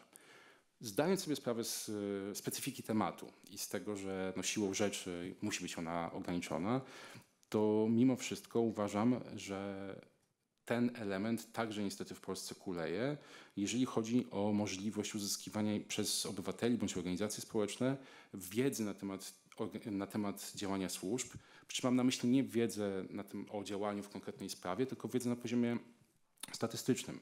E, Powiem Państwu, że ten przepis dotyczący cudzoziemców, możliwości e, prowadzenia kontroli operacyjnej bez konieczności uzyskania zgody sądu e, funkcjonuje od 2016 roku, od ustawy antyterrorystycznej i zarówno w 2016 roku, jak i w roku 2024 kolejni szefowie Agencji Bezpieczeństwa Wewnętrznego odmawiają udostępniania informacji na temat tego, jak często z tego uprawnienia korzystali. Moim zdaniem jest to, jest to także problem. No i mamy te wady konstrukcyjne statku, o których mówiłem. Jakąś, y, jakiś obraz, takie pełne podsumowanie tego, tego, tych problemów no, zostało, zostały zawarte w, w raporcie, w związku z którym tutaj y, jesteśmy.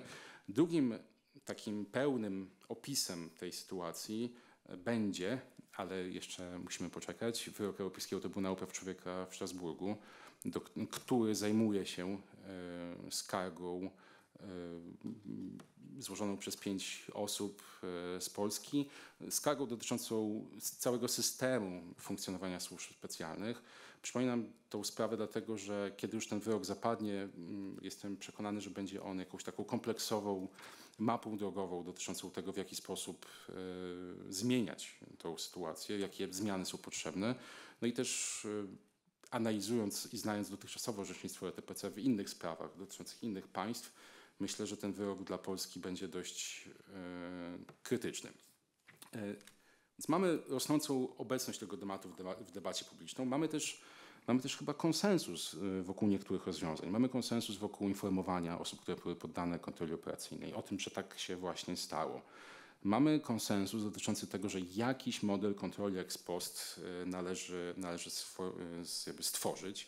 Mamy też konsensus dotyczący tego, żeby no, tą kontrolę i wszelkie inne narzędzia konstruować inaczej, jeżeli chodzi o służby specjalne, a inaczej, jeżeli chodzi o służby policyjne.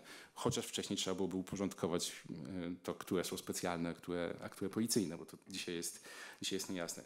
Ale na, kończąc, chciałem nawiązać do tego, co, o czym mówił profesor Rojszczak, o tym, o stirze. E, Tam profesor mówił o tym, że służby mogą mieć dostęp do, e, do tego typu danych i słuchając tego miałem taką silną analogię do, do czegoś, co wzbudziło bardzo silne obawy i silne takie emocje społeczne dwa lata temu, e, kiedy wprowadzono coś, co w e, opinii publicznej było nazywane rejestrem ciąż. To chodziło o to, że w, do systemu informacji medycznej trafią informacje o, o tym, że kobieta jest w ciąży. E, Fakt tego, jak słabo albo jak w ogóle nie są dzisiaj kontrolowane służby specjalne, powodował, że opinia publiczna była tym, tą zmianą bardzo przestraszona i bardzo, widziano bardzo silne ryzyka z tym związane. I my postanowiliśmy po, po czasie sprawdzić, czy te ryzyka były zasadne. I okazuje się, że w zasadzie no, prokuratura, no bo to ona może uzyskiwać dostęp do tych danych, tylko raz spytała o dane w taki sposób, który rodzi jakieś obawy. To jest jeszcze w trakcie weryfikacji. Natomiast sam fakt tych obaw, sam fakt tego, że kolejny rejestr e, umożliwia, e, czy zwiększa, zwiększa kompetencje służb, jest e, argumentem za tym, żeby te zmiany wprowadzać, bo inaczej jesteśmy w państwie, w którym brak zaufania do służb się tylko będzie pogłębiać, podczas gdy e, proces zbierania coraz większej liczby danych jest w jakiś sposób nieuchronny po to, żeby państwo mogło e, lepiej świadczyć swoje, realizować swoje zadania. I kończąc już naprawdę, e, chciałem przytoczyć fragment piosenki Elektrycznych Gitar, które mm, już w 1997 roku śpiewały, że już każdy powiedział to, co wiedział. Wszyscy zgadzają się ze sobą, a będzie nadal tak, jak jest. E, mam nadzieję, że tym razem nie będzie tak, jak jest. Dziękuję.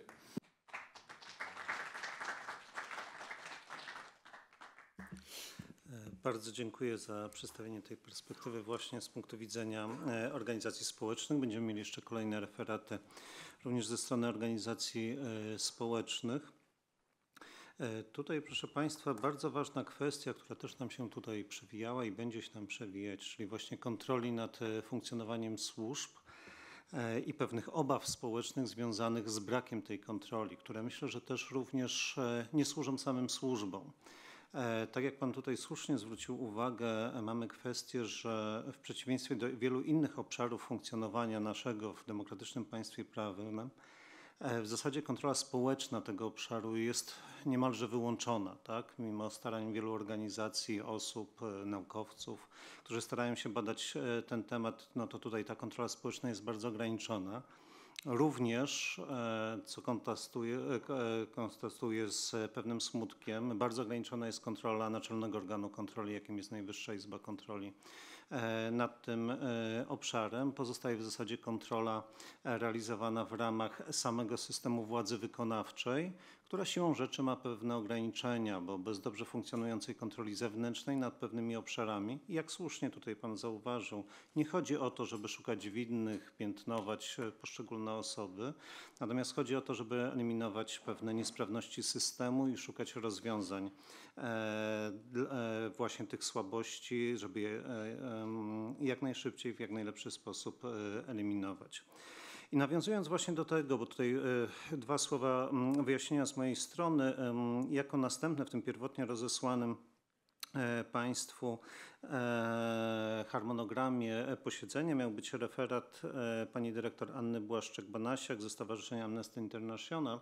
Natomiast ze względu na obowiązki pana generała Krzysztofa Bondaryka, który miał być, jego referat miał być w tej części, że tak powiem, e, właśnie wnioskowej, co należy zmienić, teraz bym poprosił właśnie pana generała mm, o wygłoszenie referatu dotyczącego omówienia proponowanych reform w systemie koordynacji nadzoru służb specjalnych w Polsce. Bardzo proszę, panie generale. Dziękuję bardzo za zaproszenie i możliwość zabrania tutaj głosu w Najwyższej Izbie Kontroli. I tylko gwoli takiego wstępu można powiedzieć, że mm, system nadzoru, kontroli nad polskimi służbami policyjnymi i specjalnymi jest bardzo rozbudowany. To, że jest on jakościowo może e, nie najwyższej jakości, krótko mówiąc, albo wykonywany niewłaściwie albo takie wrażenie spełnia czasami dla opinii publicznej, że system nadzoru nie jest mm, zbyt funkcjonalny. To jest jedna kwestia, bo tak naprawdę i policja, i służby specjalne kontrolowane są wielostopniowo, zaczynając od prezydenta, który nadaje nominacje generalskie dla szefów służb specjalnych policji. Może je nadać albo nie nadać. Premiera, który kieruje, odpowiada za służby specjalne, czy ministrów właściwych E, spraw Wewnętrznych, czy ministra finansów, służby e, administracji skarbowej, e, czy generalnie prokuratora generalnego, ministra sprawiedliwości, prokuraturę jako organ praworządności, sądy powszechne, sądy administracyjne, bo trzeba przypomnieć, że wszystkie kwestie kadrowe w policjach i służbach specjalnych podlegają rygorom kodeksu postępowania administracyjnego, są to decyzje administracyjne, są kontrolowane sądownie. No już nie mówiąc o e, e, kontroli poselskiej czy Najwyższej Izby Kontroli. To, że w wielu wymiarach ta kontrola może być niewystarczająca, niezadowalająca, budzić określone e, zastrzeżenia albo wykonywanie ich nie jest właściwe, to rzecz druga. Natomiast organów kontrolnych, które kontrolują polskie policje, służby, jest dużo. Ale żeby polepszyć e, ten wymiar mm, mm, kontrolny, mm, mamy też pozytywne propozycje. I taką, e, e, taką propozycją jest próba uregulowania pracy operacyjnej służb specjalnych i policji z uwagi na postępującą inflację, jakbyśmy powiedzieli, operacyjną. Czy od, 2000, od 1990 roku mamy tylko zwiększenie się co jakiś czas liczby podmiotów, służb uprawnionych do działań, które ustawodawca określił jako czynności operacyjno-rozpoznawcze. W 1990 roku było cztery takie służby, dzisiaj mamy 12 e, podmiotów. W związku z powyższym co jakiś czas ulega to wzrostowi. Ilość tych podmiotów nie znaczy, że ilość przechodzi w jakość. Mamy też brak spójnego systemu koordynacji pracy operacyjnej, w tym rozróżnienia specyfiki służb, także chodzi o służby specjalne, policyjne, skarbowe, wojskowe, finansowe, wywiadowcze, kontrwywiadowcze, jakbyście Państwo to nazywali. A same stworzenie stanowiska koordynatora nie oznacza e, istnienia koordynacji. Mamy ostatnich 30 latach drastyczny spadek jakości pracy operacyjnej. E, mamy do czynienia też z czymś, co nazywamy dezinformacją wywiadu. Informacyjną, operacyjną, wywiadowczą. Służby ze sobą współpracują, ale często się też dezinformują. Mamy również wzrost nieprawidłowości z wykorzystaniem tych czynności operacyjno-rozpoznawczych w zakresie wykorzystywania przez i służby przełożonych, polityków, także funkcjonariuszy dla celów prywatnych, często politycznych, możliwości operacyjnych. Istotą jest też prymat prawa powielaczowego nad regulacjami ustawowymi. Otóż e, praca operacyjno-rozpoznawcza w niewielkim stopniu jest zdefiniowana jako pewne metody, które w ustawach policyjnych są zadekretowane. Całość tej pracy jest domeną instrukcji zarządzeń wewnętrznych. Chcieliśmy zaproponować rozwiązanie, które będzie komplementarne z innymi e, aktami prawnymi, które regulują pracę policji i służb specjalnych, czyli kodeksem postępowania karnego i kodeksem postępowania administracyjnego. I takim, taką propozycją będzie z naszej strony kodeks pracy operacyjnej. Chcemy zaproponować jednolite podejście, ponieważ e, te hmm, rozwój ustawodawstwa, o czym Państwo doskonale wiecie, tak jak po wielkim wybuchu, wszystko się rozjechało trochę od siebie, trochę z boku, a, a państwo polskie potrzebuje jednolitego podejścia, nie tylko w zakresie praworządności, ale też skuteczności. Także rozumienia o tym, co rozmawiamy, o czym mówimy. Dlatego jednolite podejście chodzi o wprowadzenie standaryzacji, procedur, nazewnictwa, definicji, które umożliwia właśnie wtedy koordynację, informację, a nie dezinformację i rozliczalność na tych samych zasadach, jeśli chodzi o uprawnienia do pracy operacyjno-rozpoznawczej. Skoro dzisiaj 14 e, instytucji posługuje się niezdefiniowaną do końca e, formułą czynności operacyjno-rozpoznawcze i nikomu to nie przeszkadza, więc wydaje się, że może by również mogły się posługiwać definicją pracy operacyjnej. Chcielibyśmy też doprowadzić do tego, by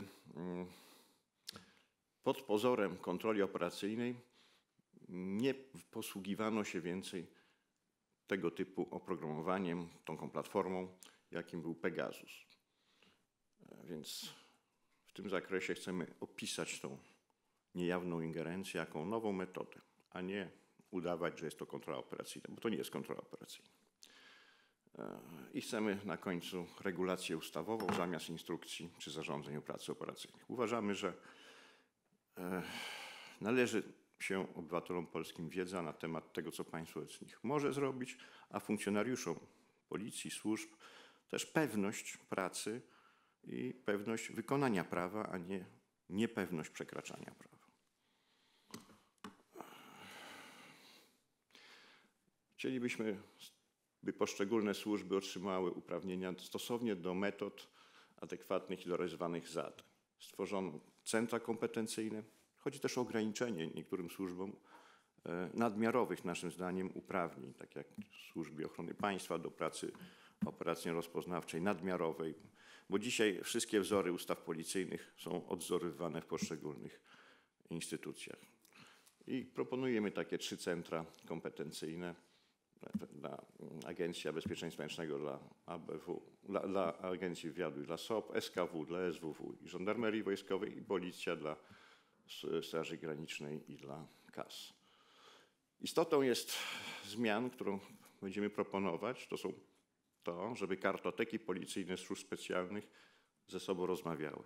Dziś się porozumiewają, ale niekoniecznie zgodnie z y, prawdziwą intencją rozmawiających. Otóż do końca ten system jest nieuporządkowany, nigdy nie podlegał regulacji, a nigdy nie zmuszano służb do tego, by się porozumiały i skoordynowały swoje prace. Wprowadzimy obowiązek koordynacji. Ten obowiązek także pod sankcją prawną. Nowe rozwiązania, czyli służby specjalne i służby policyjne, to co mówiono, że nie ma, trzeba by to e, precyzyjnie opisać. E, nowe kategoryzacje metod pracy operacyjnej, definicji tych metod, sama definicja pracy operacyjnej, no i osób wykonujących pracę operacyjną. Chcemy wprowadzić licencjonowanie takiej pracy. Mm, uważamy, że jest to bardzo odpowiedzialna, trudna, wymagająca praca i kilka stopni licencji operacyjnych w tym zakresie podniesie poziom tej pracy. Sama definicja, którą będziemy proponować, mogę Państwu zacytować w skrócie. Więc praca operacyjna to zespół czynności lub przedsięwzięć jawnych, niejawnych prowadzonych przez uprawnione organy w ściśle określonym celu, zastosowaniem metod, z wykorzystaniem środków w ramach form i zachowaniem zasad określonych w mniejszej kodeksie. Praca operacyjna w szczególności jest prowadzona z wykorzystaniem niejawnej pomocy osób oraz niejawnych funduszy, ewidencji, zbiorów danych i archiwów. I praca operacyjna jest finansowana z budżetu państwa, chyba że kodeks stanowi inaczej. I celem tej pracy jest oczywiście rozpoznanie, zapobieganie i wykrywanie przestępstw, rozpoznawanie, zapobieganie, zwalczanie zagrożeń naruszających porządek publiczny, bezpieczeństwo osób, bezpieczeństwo państwa oraz jego porządek konstytucyjny. Można powiedzieć, że to powtarzamy w, w rozwiązaniach ustawowych. Zakres regulacji, a więc przede wszystkim cele i zasady pracy operacyjnej, środki pracy operacyjnej, metody pracy operacyjnej, formy, dokumentacja operacyjna, sposób prowadzenia pracy operacyjnej, ewidencja. Ważną rzeczą są gwarancje praw obywatelskich, o czym mówił mój przedmówca, nadzór nad służbami specjalnymi, wykorzystaniem pracy operacyjną, sprawowanie kontroli nad pracą operacyjną i zakres prowadzenia pracy operacyjnej w czasie wojny. Jakie zasady powinny przyświecać pracy operacyjnej? I to są dziewięć zasad, które tutaj naczelną zasadą legalizmu, obiektywizmu, tajności, efektywności, proporcjonalności, ekonomiki, dokumentowania, planowania i systematyki. Tego typu zasady powinny być zasadem wzorem do mm, pracy operacyjnej policji i służb specjalnych.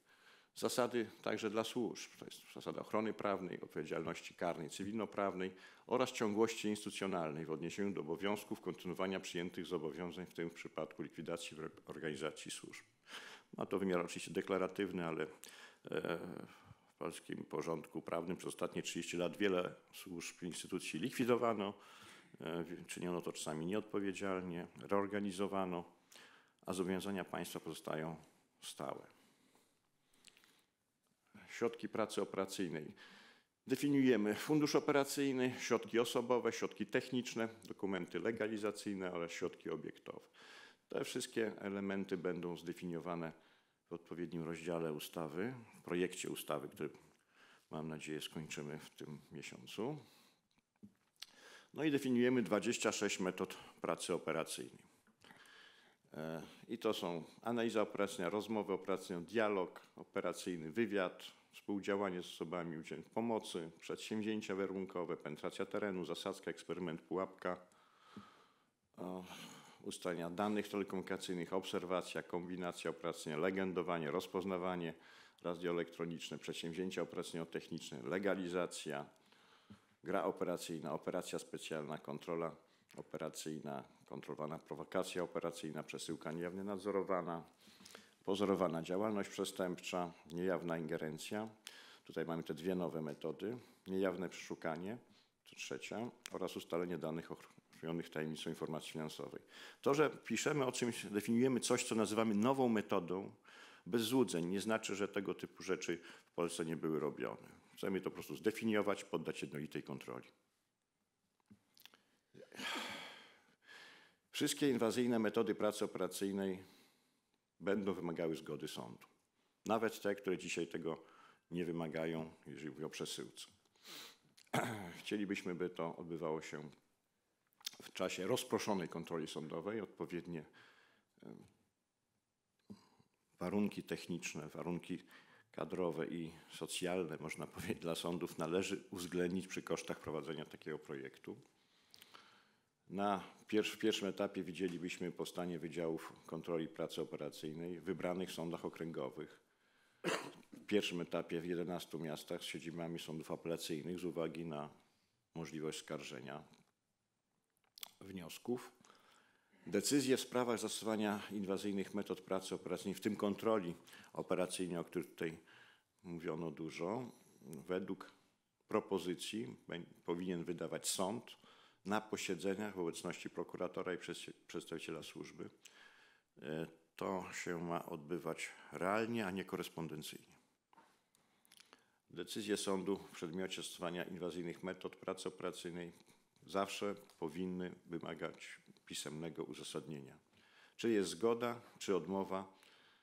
Obecnie regulacje mówią, że tylko odmowa. Kolejnym elementem wykonanie wyroku Trybunału, orzeczenia Trybunału Konstytucyjnego z 2014 roku. Wpisujemy tam wprowadzenie wymóg informowania ex post osoby objętej kontrolą operacyjną o fakcie stosowania w terminach rocznych, pięcioletnich z określonymi ograniczeniami. E, są oczywiście tam wyjątki związane z bezpieczeństwem narodowym, to jest kontrwywiadowcze, wywiadowcze i terrorystyczne, że te mm, działania służb nie będą ujawnione. Te wyjątki będą zapisane w ustawie. Oczywiście w wypadkach szczególnych sąd może również odmówić e, udzielenia takiej informacji w innych sprawach z uwagi na bezpieczeństwo osób prowadzących tę operację lub źródeł informacji. Chcielibyśmy e, wzmocnić znaczącą rolę Komisji Sejmowej do spraw służb specjalnych, rozszerzyć ją do kontroli i nadzoru nad całą pracą operacyjną instytucji do tego powołanych, rozprowadzić odpowiedzialność karną za podawanie przed tą komisją nieprawdy lub zatajenia prawdy. Tak samo chcielibyśmy rozszerzyć zadania Kolegium Służb Specjalnych i Pracy Operacyjnej, między innymi na to, by takie kolegium rejestrowało kartoteki operacyjne, które sobą mają rozmawiać. Dzisiaj tak dowolność tych kartotek i rozmów, informacji jest y, jednym z wielu przeszkód właściwej koordynacji współpracy polskich policji i polskich służb specjalnych. Wprowadzilibyśmy też, proponujemy indywidualną kontrolę poselską. No, w tym przypadku przygotujemy też projekt, oczywiście komplementarnie do zmian w ustawie, zmiany regulaminu Sejmu, tak by Wysoka Izba mogła pochylić się z troską na ten temat. To w przepisach zmieniających y, przygotowaliśmy szereg pakietu związanych z pewnym odwróceniem mm, zmian, które nastąpiły e, w kodeksie e, postępowania karnego. Dotyczy to m.in. z wykorzystaniem efektów pracy wobec sędziów, prokuratorów. Myślę, że to są komplementarne postulaty, które są zgłaszane w wielu aspektach. Przede wszystkim dla nas najważniejsze jest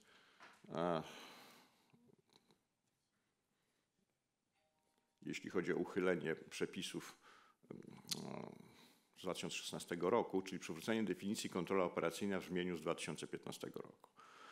E, jak niektórzy, którzy śledzą te zmiany, wiedzą, że dodano w 2016 roku do definicji kontroli operacyjnej coś, co się nazywa niejawną ingerencją w nośnik, telefon, system teleinformatyczny, komputer, co mogło być pretekstem do użycia platformy Pegasus do implementacji bezpośrednio w telefonach. Naszym zdaniem e, tego typu zapis rozszerza e, pozaprocesową element e, kontroli operacyjnej. Tak naprawdę, jakie są warunki realnego nadzoru nad pracą operacyjną, a to jest połowa czasami pracy służb i policji w Polsce. To są trzy według nas elementy, czyli większe uprawnienia Komisji do Spraw Służb Specjalnych Pracy Operacyjnej, Wydziały Kontroli Pracy Operacyjnej przy sądach okręgowych, czyli realna kontrola sądowa oraz regulacja w postaci mm, Kodeksu Pracy Operacyjnej, która reguluje pracę operacyjną wszystkich policji i służb specjalnych. Można podsumować to w ten sposób, że projekt e, ustawy Kodeks Pracy Operacyjnej jest zbudowany na zasadzie właśnie win-win, czyli każdy ma wygrać. Nie znaczy, że każdy wygra 100%, ale wszyscy mają wygrać. I obywatele, zwiększając e, gwarancje praw obywatelskich, ale i funkcjonariusze policji i służb, mając pewność, że nadużyć może być mniej, że gwarantowane będzie przestrzeganie praw obywatelskich w standardzie demokratycznym. Funkcjonariusze policji i służb działających zgodnie z regulacjami objęci będą ochroną prawną, a praca operacyjna y, zostanie podniesiona na wyższy poziom. Przymus koordynacji y, zmusi służby i policję do współpracy na realnych narzędziach i powstanie realny system nadzoru i rozliczalności policji służb działań operacyjnych. Dlaczego realny? No, bo według tych samych kryteriów, parametrów ilościowych, statystycznych, finansowych i efektywnościowych będzie można to, ten system zmierzyć. To, co Najwyższa Izba Kontrola, Kontroli robi dobrze, to potrafi taki system zmierzyć, ale żeby mierzyła to samo, no to trzeba te parametry zrobić. Kodeks w tym zakresie e, daje efekt. Kodeks był konsultowany z wieloma środowiskami, oczywiście nie wszystkimi, ale mm, między innymi uzyskał pozytywną, e, pozytywną opinię mm, i Stowarzyszenia Lex Super Omnia, i Stowarzyszenia Temis, ale także Stowarzyszenia Justitia. I jeżeli są Państwo ciekawi, to na stronie Stowarzyszenia Justitia znajduje się stanowisko zarządu e, Justicji, która odnosi się do e, projektu kodeksu pracy operacyjnej. Można tylko powiedzieć w skrócie, że według sędziego Markiewicza, który to podpisał, e, projekt ustawy reguluje, będzie regulował w sposób całościowy pracę operacyjną zarówno wszystkich służb policyjnych, jak i specjalnych i zawiera nie tylko definicję, ale przede wszystkim zasadę legalizmu, którą jest tutaj e, główną wytyczną co do zasady pracy operacyjnej polskich służb specjalnych. Oprócz y, mm, tej zasady legalizmu, oprócz definicji, można określić projekt jako pewnego rodzaju wyzwanie dla podniesienia jakości pracy i jedności pracy operacyjno-rozpoznawczej. Z tego tytułu będziemy proponować go, mm, mam nadzieję, w końcu tego miesiąca. Zarówno pan minister spraw wewnętrznych, jak pan minister koordynator służb specjalnych odniesie się do tego projektu jak najszybciej. Dziękuję bardzo.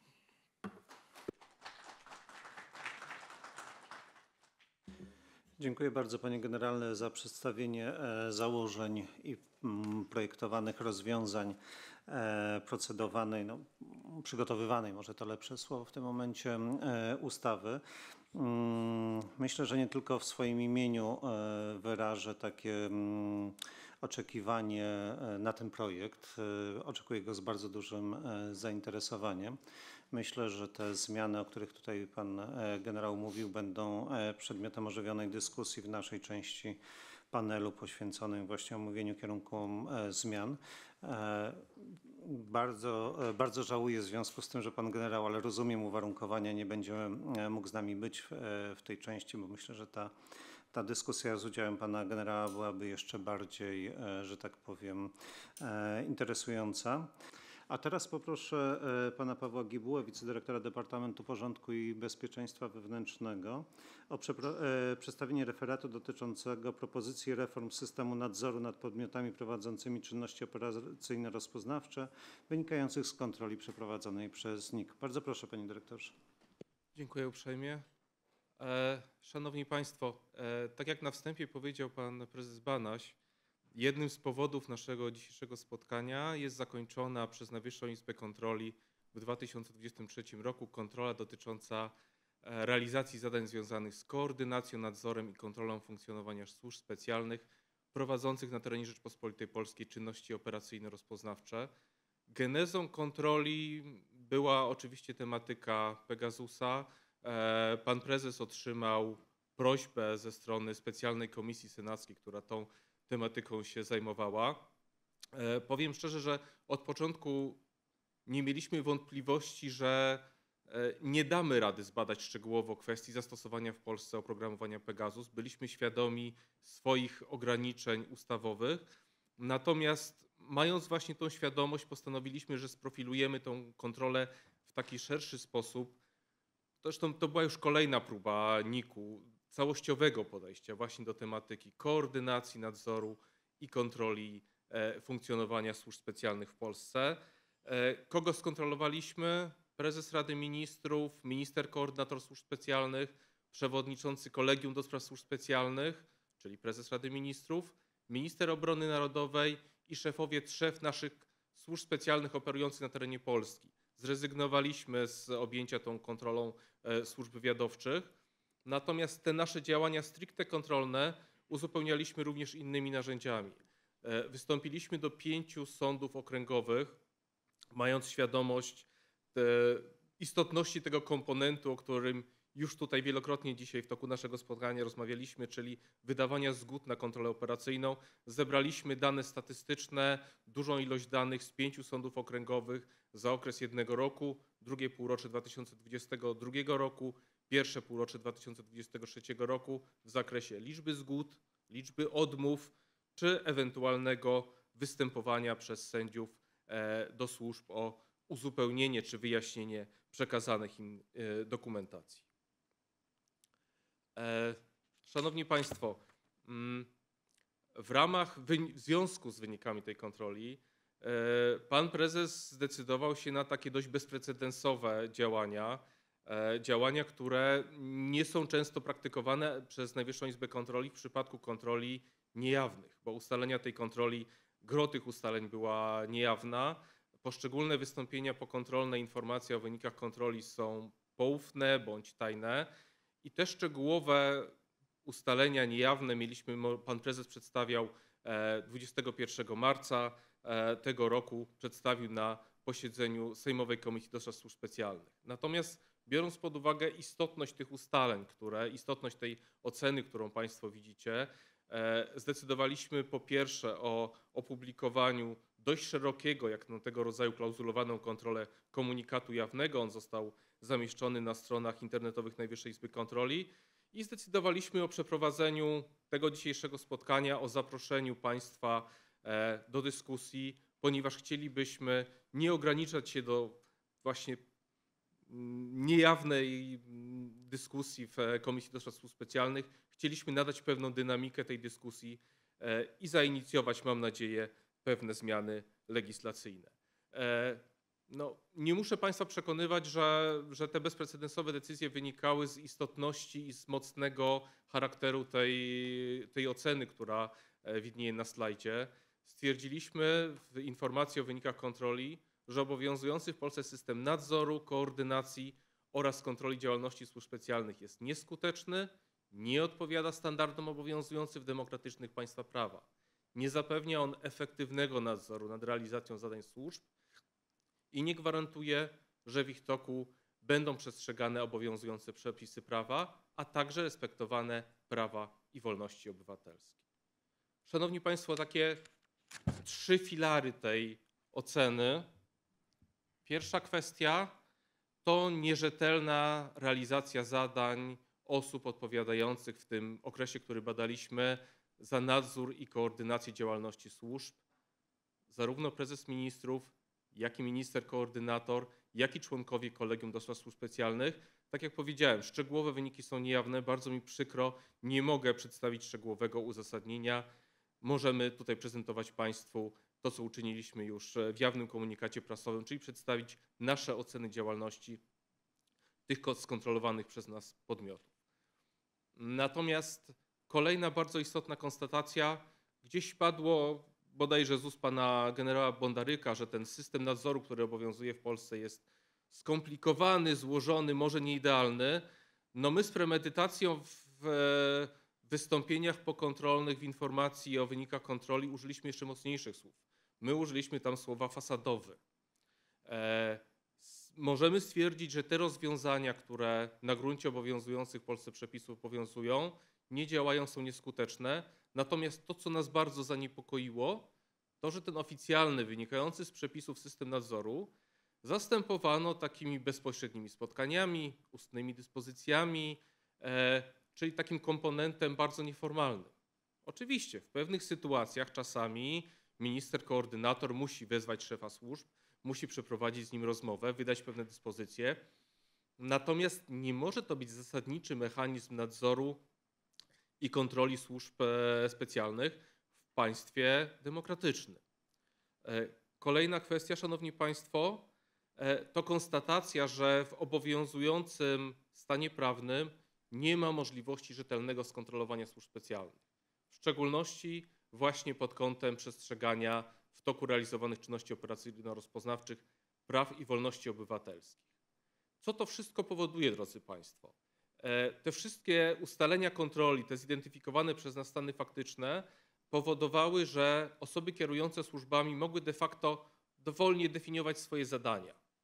O ile nie zachodził ten mechanizm właśnie nieformalnego wydawania poleceń, natomiast e, w perspektywie dzisiejszej dyskusji myślę, że jeszcze ważniejsza jest druga część te, te, te, tego akapitu, który widzicie Państwo na dole slajdu, czyli szefowie służb mogą, mogą decydować, mogą uznaniowo decydować, czy i jakie informacje przekażą organom nadzoru i kontroli na temat realizacji ich zadań. Podkreślę, że wszystkich organów. Znaczy, to dotyczy zarówno Najwyższej Izby Kontroli, e, ale to dotyczy też premiera, ministra koordynatora, Sejmowej Komisji Służb Specjalnych, e, Komisji Kolegium e, do Spraw e, Służb Specjalnych. Dwa przykłady, proszę Państwa, żeby jakby urealnić e, e, i wytłumaczyć, na czym ten mechanizm reglamentowania strumienia informacji, które wypływa od służby specjalnej, polega. E, Takim rutynowym działaniem na początku każdej kontroli, gdy wchodzimy do jednostki kontrolowanej, jest sprawdzenie kontroli wewnętrznych, audytów wewnętrznych, które ta jednostka sama przeprowadziła w zakresie tematyki, która nas interesuje. Taką prośbę wyartykułowali koledzy prowadzący czynności w Agencji Bezpieczeństwa Wewnętrznego. Jakież było nasze zdziwienie, gdy uzyskali informację, że plan kontroli wewnętrznych nie zostanie im przekazany, bo w tym planie kontroli wewnętrznych są właśnie informacje, do których my jako NIK dostępu nie mamy, czyli e, informacje wskazane w artykule 39 ust. 3 ustawy o Agencji Bezpieczeństwa Wewnętrznego, szczegółowe metody i techniki pracy operacyjnej, tudzież informacje o współpracownikach. W planie kontroli wewnętrznej. Po deliberacjach, po wymianie argumentów, e, kontrolerzy ten plan dostali, z tym, że część tytułów kontroli została zanonimizowana, us- usunięta z tego planu. Ja zaznaczę tego tylko, że ten dokument był chroniony raptem klauzulą zastrzeżone. A więc w planie kontroli wewnętrznych, w dokumencie zastrzeżonym miały być informacje o szczegółowych metodach i technikach pracy operacyjnej. Tylko my nic z tym nie możemy zrobić. Na, nasz, nasza możliwość przekonywania w tym momencie się e, kończy. Drugi przykład. e, Jeden z bardziej chronionych dokumentów w tym państwie, czyli wytyczne prezesa Rady Ministrów e, w sprawie kierunków działania. Takie wytyczne są wydawane w e, wobec ABW, wobec CBA, we współpracy z ministrem obrony narodowej, również wobec SKW. Mm, Analogicznie, w przypadku tego dokumentu również odmówiono nam dostępu, bo zawiera on informacje na temat szczegółowych metod technik pracy operacyjnej. No, kontrolerzy drążyli. No to chociaż powiedzcie nam, ile stron ma ten ściśle chroniony e, dokument. Nie, nie możemy Wam odpowiedzieć, ile stron ma ten dokument, bo jest to informacja niejawna. Zaznaczę, że wszyscy kontrolerzy prowadzący tą kontrolę mieli poświadczenie do ściśle tajnego, zostali szczegółowo zweryfikowani przez tą samą służbę specjalną, która wskazała, że dają rękojmie zachowania tajemnic państwowych do klauzuli ściśle tajne. Nie, nie udzieliła nam służba specjalna informacji, ile stron mają te wytyczne. Te wytyczne mają dwie strony, Szanowni Państwo. Tą informację można znaleźć w jawnym, po odłączeniu załączników, w piśmie przewodnim do tych wytycznych. Takie dwa, w mojej ocenie, istotne przykłady, które pokazują, jak bardzo skutecznie służby mogą reglamentować strumień informacji, który od nich wypływa na temat, na temat ich działalności. Zaznaczę, że e, dwa tygodnie temu skierowaliśmy sześć zawiadomień do prokuratury na podstawie artykułu 98 ustawy o Najwyższej Izbie Kontroli, czyli w sprawie utrudniania tej kontroli. Tyle mogliśmy zrobić, taka mogła być reakcja naczelnego organu kontroli na sytuację, którą my interpretujemy jako utrudnianie kontroli. Natomiast mam zasadniczą wątpliwość, czy prokurator, potem sąd będzie mógł rozpatrzyć te, te nasze zawiadomienia i jaki będzie ciąg dalszy z tymi zawiadomieniami. Co w takim razie, Szanowni Państwo, no, co my rekomendujemy? Większość z tych rekomendacji, które, które my zgłosiliśmy, bardzo się cieszę, bo już gdzieś tutaj padała w dyskusji ze strony moich e, szanownych przedmówców. E, pierwsza i najważniejsza w naszej ocenie kwestia, czyli ustanowienie w Polsce podmiotu, organu, grupy ludzi, która miałaby nieograniczony dostęp tak naprawdę do informacji na temat działania służb, czyli przełamanie tego monopolu informacyjnego, który na chwilę obecną dysponują służby specjalne.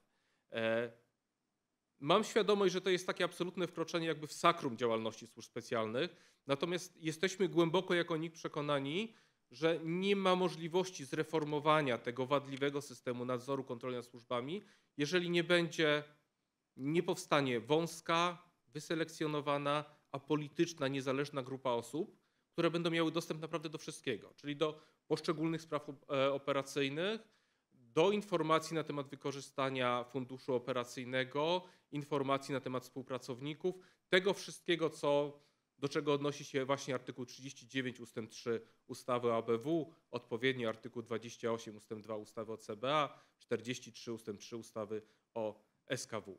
E, proponujemy, bardzo dużo kwestii trzeba by rozważyć tutaj. Proponują, planując utworzenie tego organu.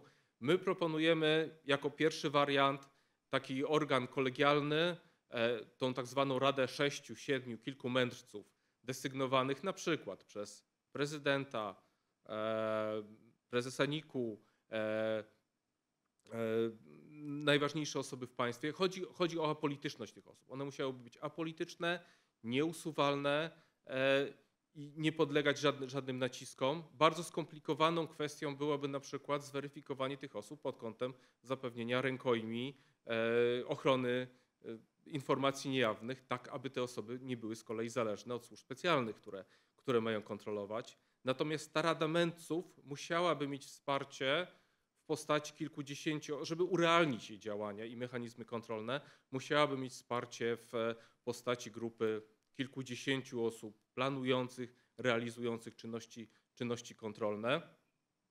I jakimś wariantem, Szanowni Państwo, który też wskazujemy w, w informacji o wynikach kontroli, byłoby powierzenie tych zadań, czy części tych zadań Najwyższej Izbie Kontroli.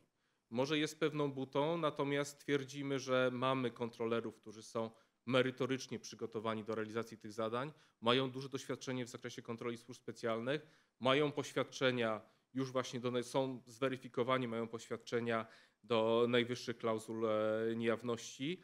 No i również umocowanie jednak NIK, prezesa w Konstytucji pozwalają tutaj e, postawić taką tezę, że mógłby to być jeden z tych wariantów, który moglibyśmy tutaj rozpatrywać w kontekście tego zewnętrznego, niezależnego e, organu, który byłby uprawniony do kontroli działalności służb specjalnych. Z zastrzeżeniem konieczności zmian ustawowych nie byłoby to też łatwe przedsięwzięcie. Natomiast powtórzę jeszcze raz, e, stoimy na stanowisku, że bez wprowadzenia tego organu, niezależnie od tego, jaką on przybierze ostatecznie postać, bez przełamania tego monopolu informacyjnego, e, który na chwilę obecną mamy po stronie służb specjalnych, nie, wprowadzimy w Polsce e, racjonalnych i, i takich skutecznych rozwiązań nadzoru i kontroli nad działalnością służb specjalnych.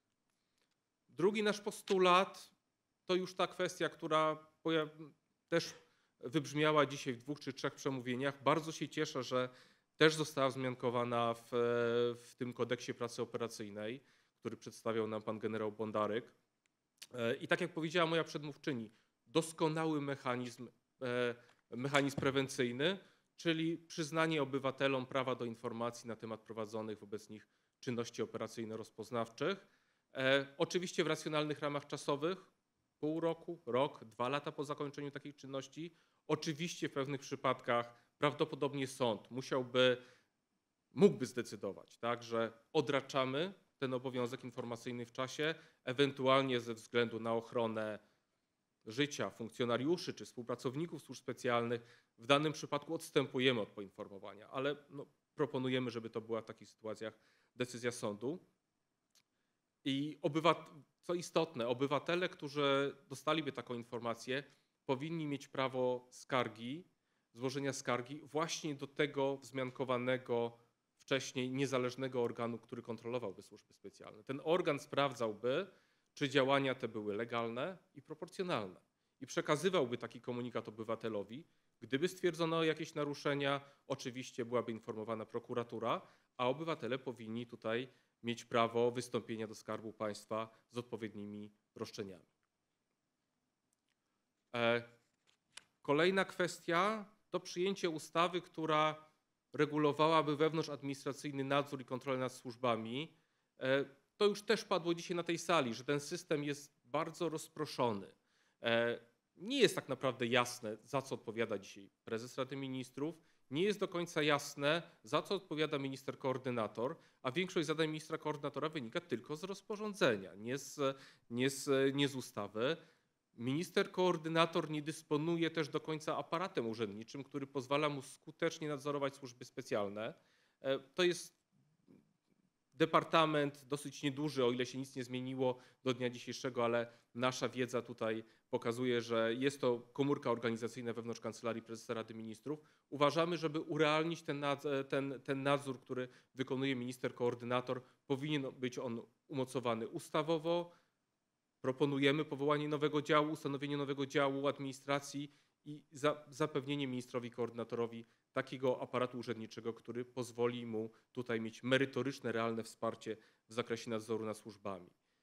Kilka innych aspektów, Szanowni Państwo.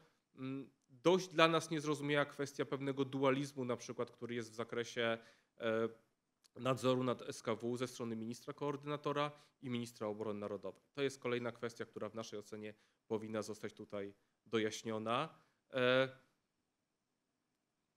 Także Kolegium do Spraw Służb Specjalnych i to, to też wybrzmiało chyba w tym, e, z tego co pamiętam, w tym projekcie pana, pana ra- generała Bondardyka, proponowalibyśmy wzmocnienie tego gremium. To gremium ma, do, ma w chwili obecnej tylko uprawnienia opiniodawczo-doradcze. Proponowalibyśmy, żeby kolegium mogło zatwierdzać plany działalności służb specjalnych, e, e, sprawozdania z działalności, z działalności tych podmiotów, czyli wzmocnienie tego istotnego w naszej ocenie gremium.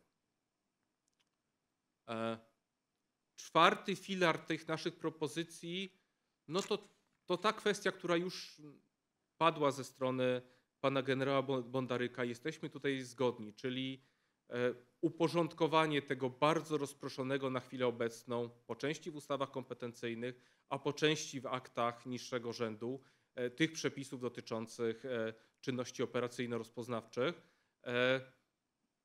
Trudno mi się wypowiadać, znaczy ni, niestety nie pojawił się, przynajmniej nam nie udało się znaleźć szczegółowego e, projektu kodeksu pracy operacyjnej, o którym mówi pan generał. Ten e, kodeks pracy operacyjnej pojawia się z ust mówców na różnych konferencjach, natomiast szczegółowego projektu nie znamy. Bardzo jesteśmy ciekawi szczegółów. Jesteśmy zgodni, że e, istnieje potrzeba opracowania takiego dokumentu. I filar piąty, slajd najkrótszy, ale na pewno nie naj, najważniejszy. Jeżeli dobrze pamiętam, pani profesor użyła w referacie otwierającym nasze spotkanie tematu iluzoryczna kontrola sądów. E, No, pod tą ilu- iluzorycznością podpisujemy się niestety e, obiema rękami. Tak jak powiedziałem, z tej kwerendy, rocznej kwerendy działalności pięciu sądów okręgowych e, w, w okresie jednego roku wynika, że w tym okresie liczba odmów z kilku tysięcy spraw była na poziomie 1-2%. W żadnym z tych przypadków żaden z sędziów nie wystąpił w formie pisemnej do wnioskującej służby na przykład z prośbą o wyjaśnienie, dosłanie pewnych dokumentów, uzupełnienie. W żadnym z kilku tysięcy przypadków. E, Pan rzecznik mówił, że już konstrukcja tych dokumentów, które wpływają, czyli dokumenty, które służba specjalna przesyła, tylko te, które uzasadniają potrzebę e, prowadzenia kontroli operacyjnej, e, to jest istotny mankament tego procesu. To, co już też Państwo wspominaliście, e, sędziowie dokumentują tylko, muszą wytworzyć dokument w przypadku niewydania zgody, uzasadnienie w przypadku niewydania zgody na kontrolę operacyjną. Istotne jest, żeby takie uzasadnienie, a nawet ważniejsze jest chyba, żeby takie uzasadnienie powstawało w sytuacji wydania zgody na kontrolę operacyjną i bardzo istotne byłoby, żeby służby przesyłały właśnie całokształt dokumentacji danej sprawy, w tym, może to znowu odważne twierdzenie, e, ale informacji na temat właśnie tych środków, e, metod, które będą w przypadku tej inwigilowanej osoby e, wykorzystywane. I olbrzymie znaczenie ma tutaj również kwestia skali obciążenia poszczególnych sędziów. Z tych danych statystycznych, które zebraliśmy, wynikało, że w przypadku Sądu Okręgowego w Warszawie, który oczywiście rozpatruje większość wniosków o zarządzenie kontroli operacyjnej, poszczególni sędziowie rozpatrywali kilkanaście, kilkadziesiąt spraw dziennie. I dwóch panów sędziów, którzy faktycznie rozpatrywali tego typu sprawy, wskazali nam, że nawet zetknęli się, jeden z nich wskazał, że zetknął się z sytuacją, kiedy miał na swoim dyżurze około 100 spraw, 100 wniosków. No, nie ma fizycznej możliwości, żeby merytorycznie e, rozpatrzeć te wnioski. Do tego dochodzą dodatkowe okoliczności, kancelarie tajne, bardzo prozaiczne okoliczności, ale istotne. E, brak komputerów, brak stanowisk dostępowych do wytworzenia dokumentów o poszczególnych klauzulach, czyli praca e, w obliczu braku kompletnej dokumentacji, olbrzymiego obciążenia i jeszcze braku wystarczających środków technicznych. Więc e, zarówno modyfikacja właśnie tego, co do sędziego wpływa, tak, czyli zakresu, zmiana zakresu dokumentacji, która do sędziego wpływa, wprowadzenie obowiązku e, uzasadniania decyzji pozytywnych, ale też, to chyba też wybrzmiało w tym kontekście pracy operacyjnej, prowadzenie pewnej specjalizacji i na pewno odciążenie e, Sądu Okręgowego w Warszawie może poprzez przekazanie tych zadań e, innym sądom okręgowym według właściwości terenowej poszczególnych delegatur służb.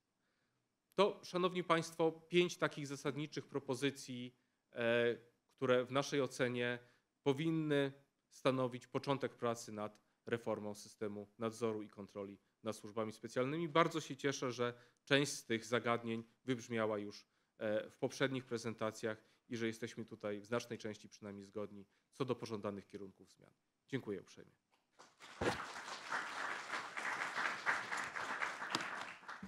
Dziękuję panie dyrektorze za przedstawienie e, pokrótce ustaleń kontroli NIK.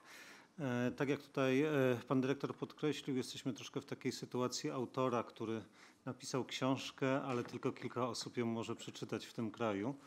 E, Ale mamy nadzieję, bo ten dokument trafił do najważniejszych osób w państwie, prezydenta, premiera, ministra koordynatora, ministra sprawiedliwości i, i kilku jeszcze innych podmiotów, w tym Sejmowej Komisji do Spraw Służb Specjalnych, na której był szczegółowo e, prezentowany przez e, pana prezesa. Mamy nadzieję, że ustalenia, które zostały zawarte w tym dokumencie, będą jakimś jednak przedmiotem refleksji nad obecnym stanem, ale przede wszystkim e, nad pewnymi potrzebą i kierunkami e, zmian, które w naszej ocenie, tak jak tutaj pan dyrektor podkreślił, e, są niezbędne.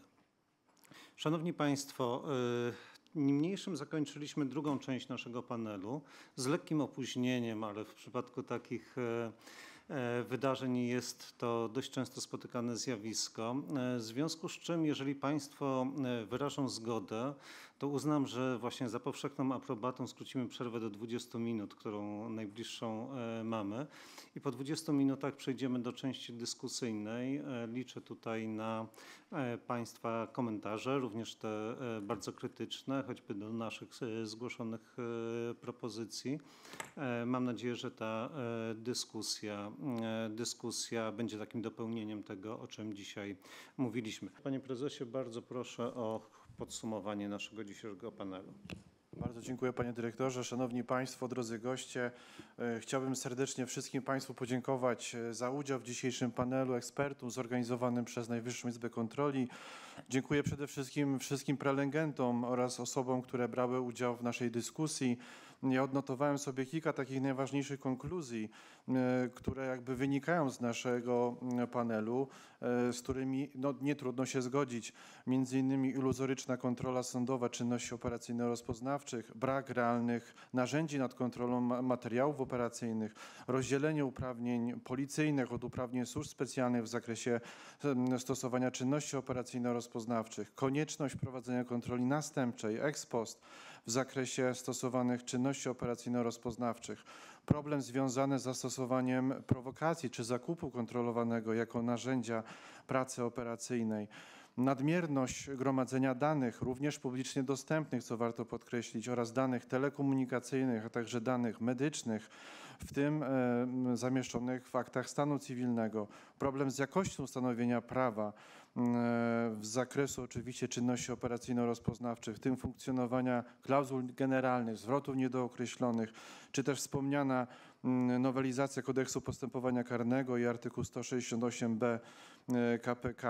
E, Potrzeba przedefiniowania e, kontroli operacyjnej, czy też czynności operacyjno-rozpoznawczych, czy problematyka ochrony danych osobowych w zakresie przeciwdziałania przestępczości.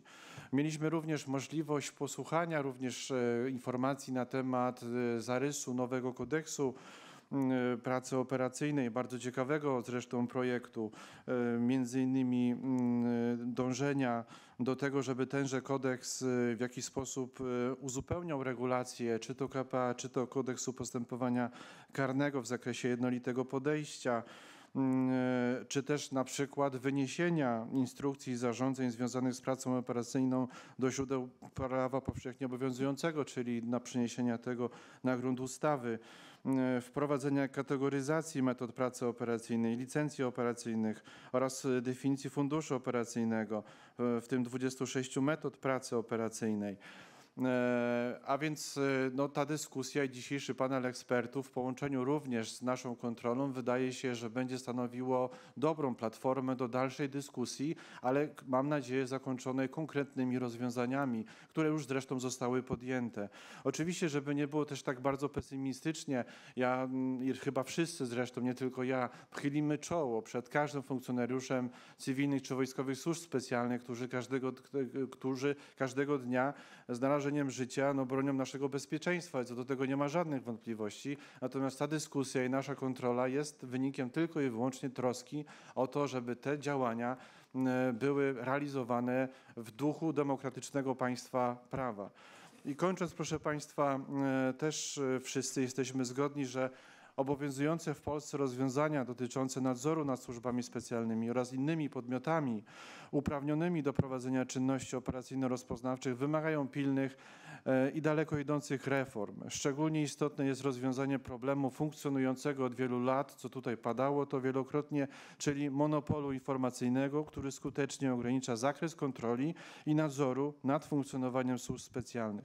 Oczywistą kwestią jest, e, że specyfika działań służb specjalnych wymaga zapewnienia ochrony ich funkcjonariuszy, współpracowników oraz specyficznych metod działania. Jednak w moim głębokim przekonaniu, również w interesie samych służb specjalnych leży, żeby obywatele naszego kraju mieli pewność, że działania przez nie prowadzone są zgodne z prawem i najlepiej rozumianym interesem Rzeczypospolitej.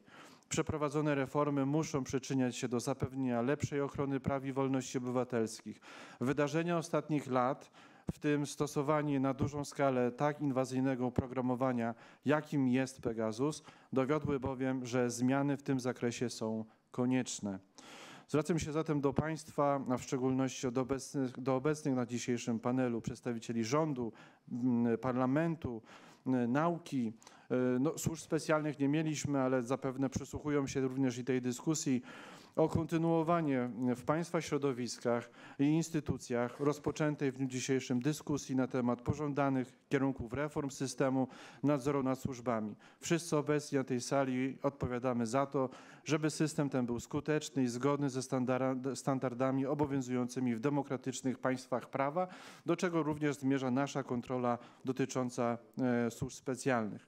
Jeszcze raz dziękuję wszystkim Państwu za przybycie, poświęcony przez Państwa czas. W sposób szczególny chciałbym podziękować również kontrolerom Najwyższej Izby Kontroli i Departamentowi Porządku i Bezpieczeństwa Wewnętrznego, kontrolerom, którzy tak cichutko siedzą po lewej mojej stronie na końcu sali, jak również całemu kierownictwu Departamentu na czele z panią dyrektor Anną Mach, panem dyrektorem Tomkiem Sordylem i panem dyrektorem Pawłem Gibułą. I oczywiście zapraszamy jako instytucja naczelna, kontrolna wszystkich Państwa do tego typu dyskusji w przyszłości. Bardzo Państwu dziękuję.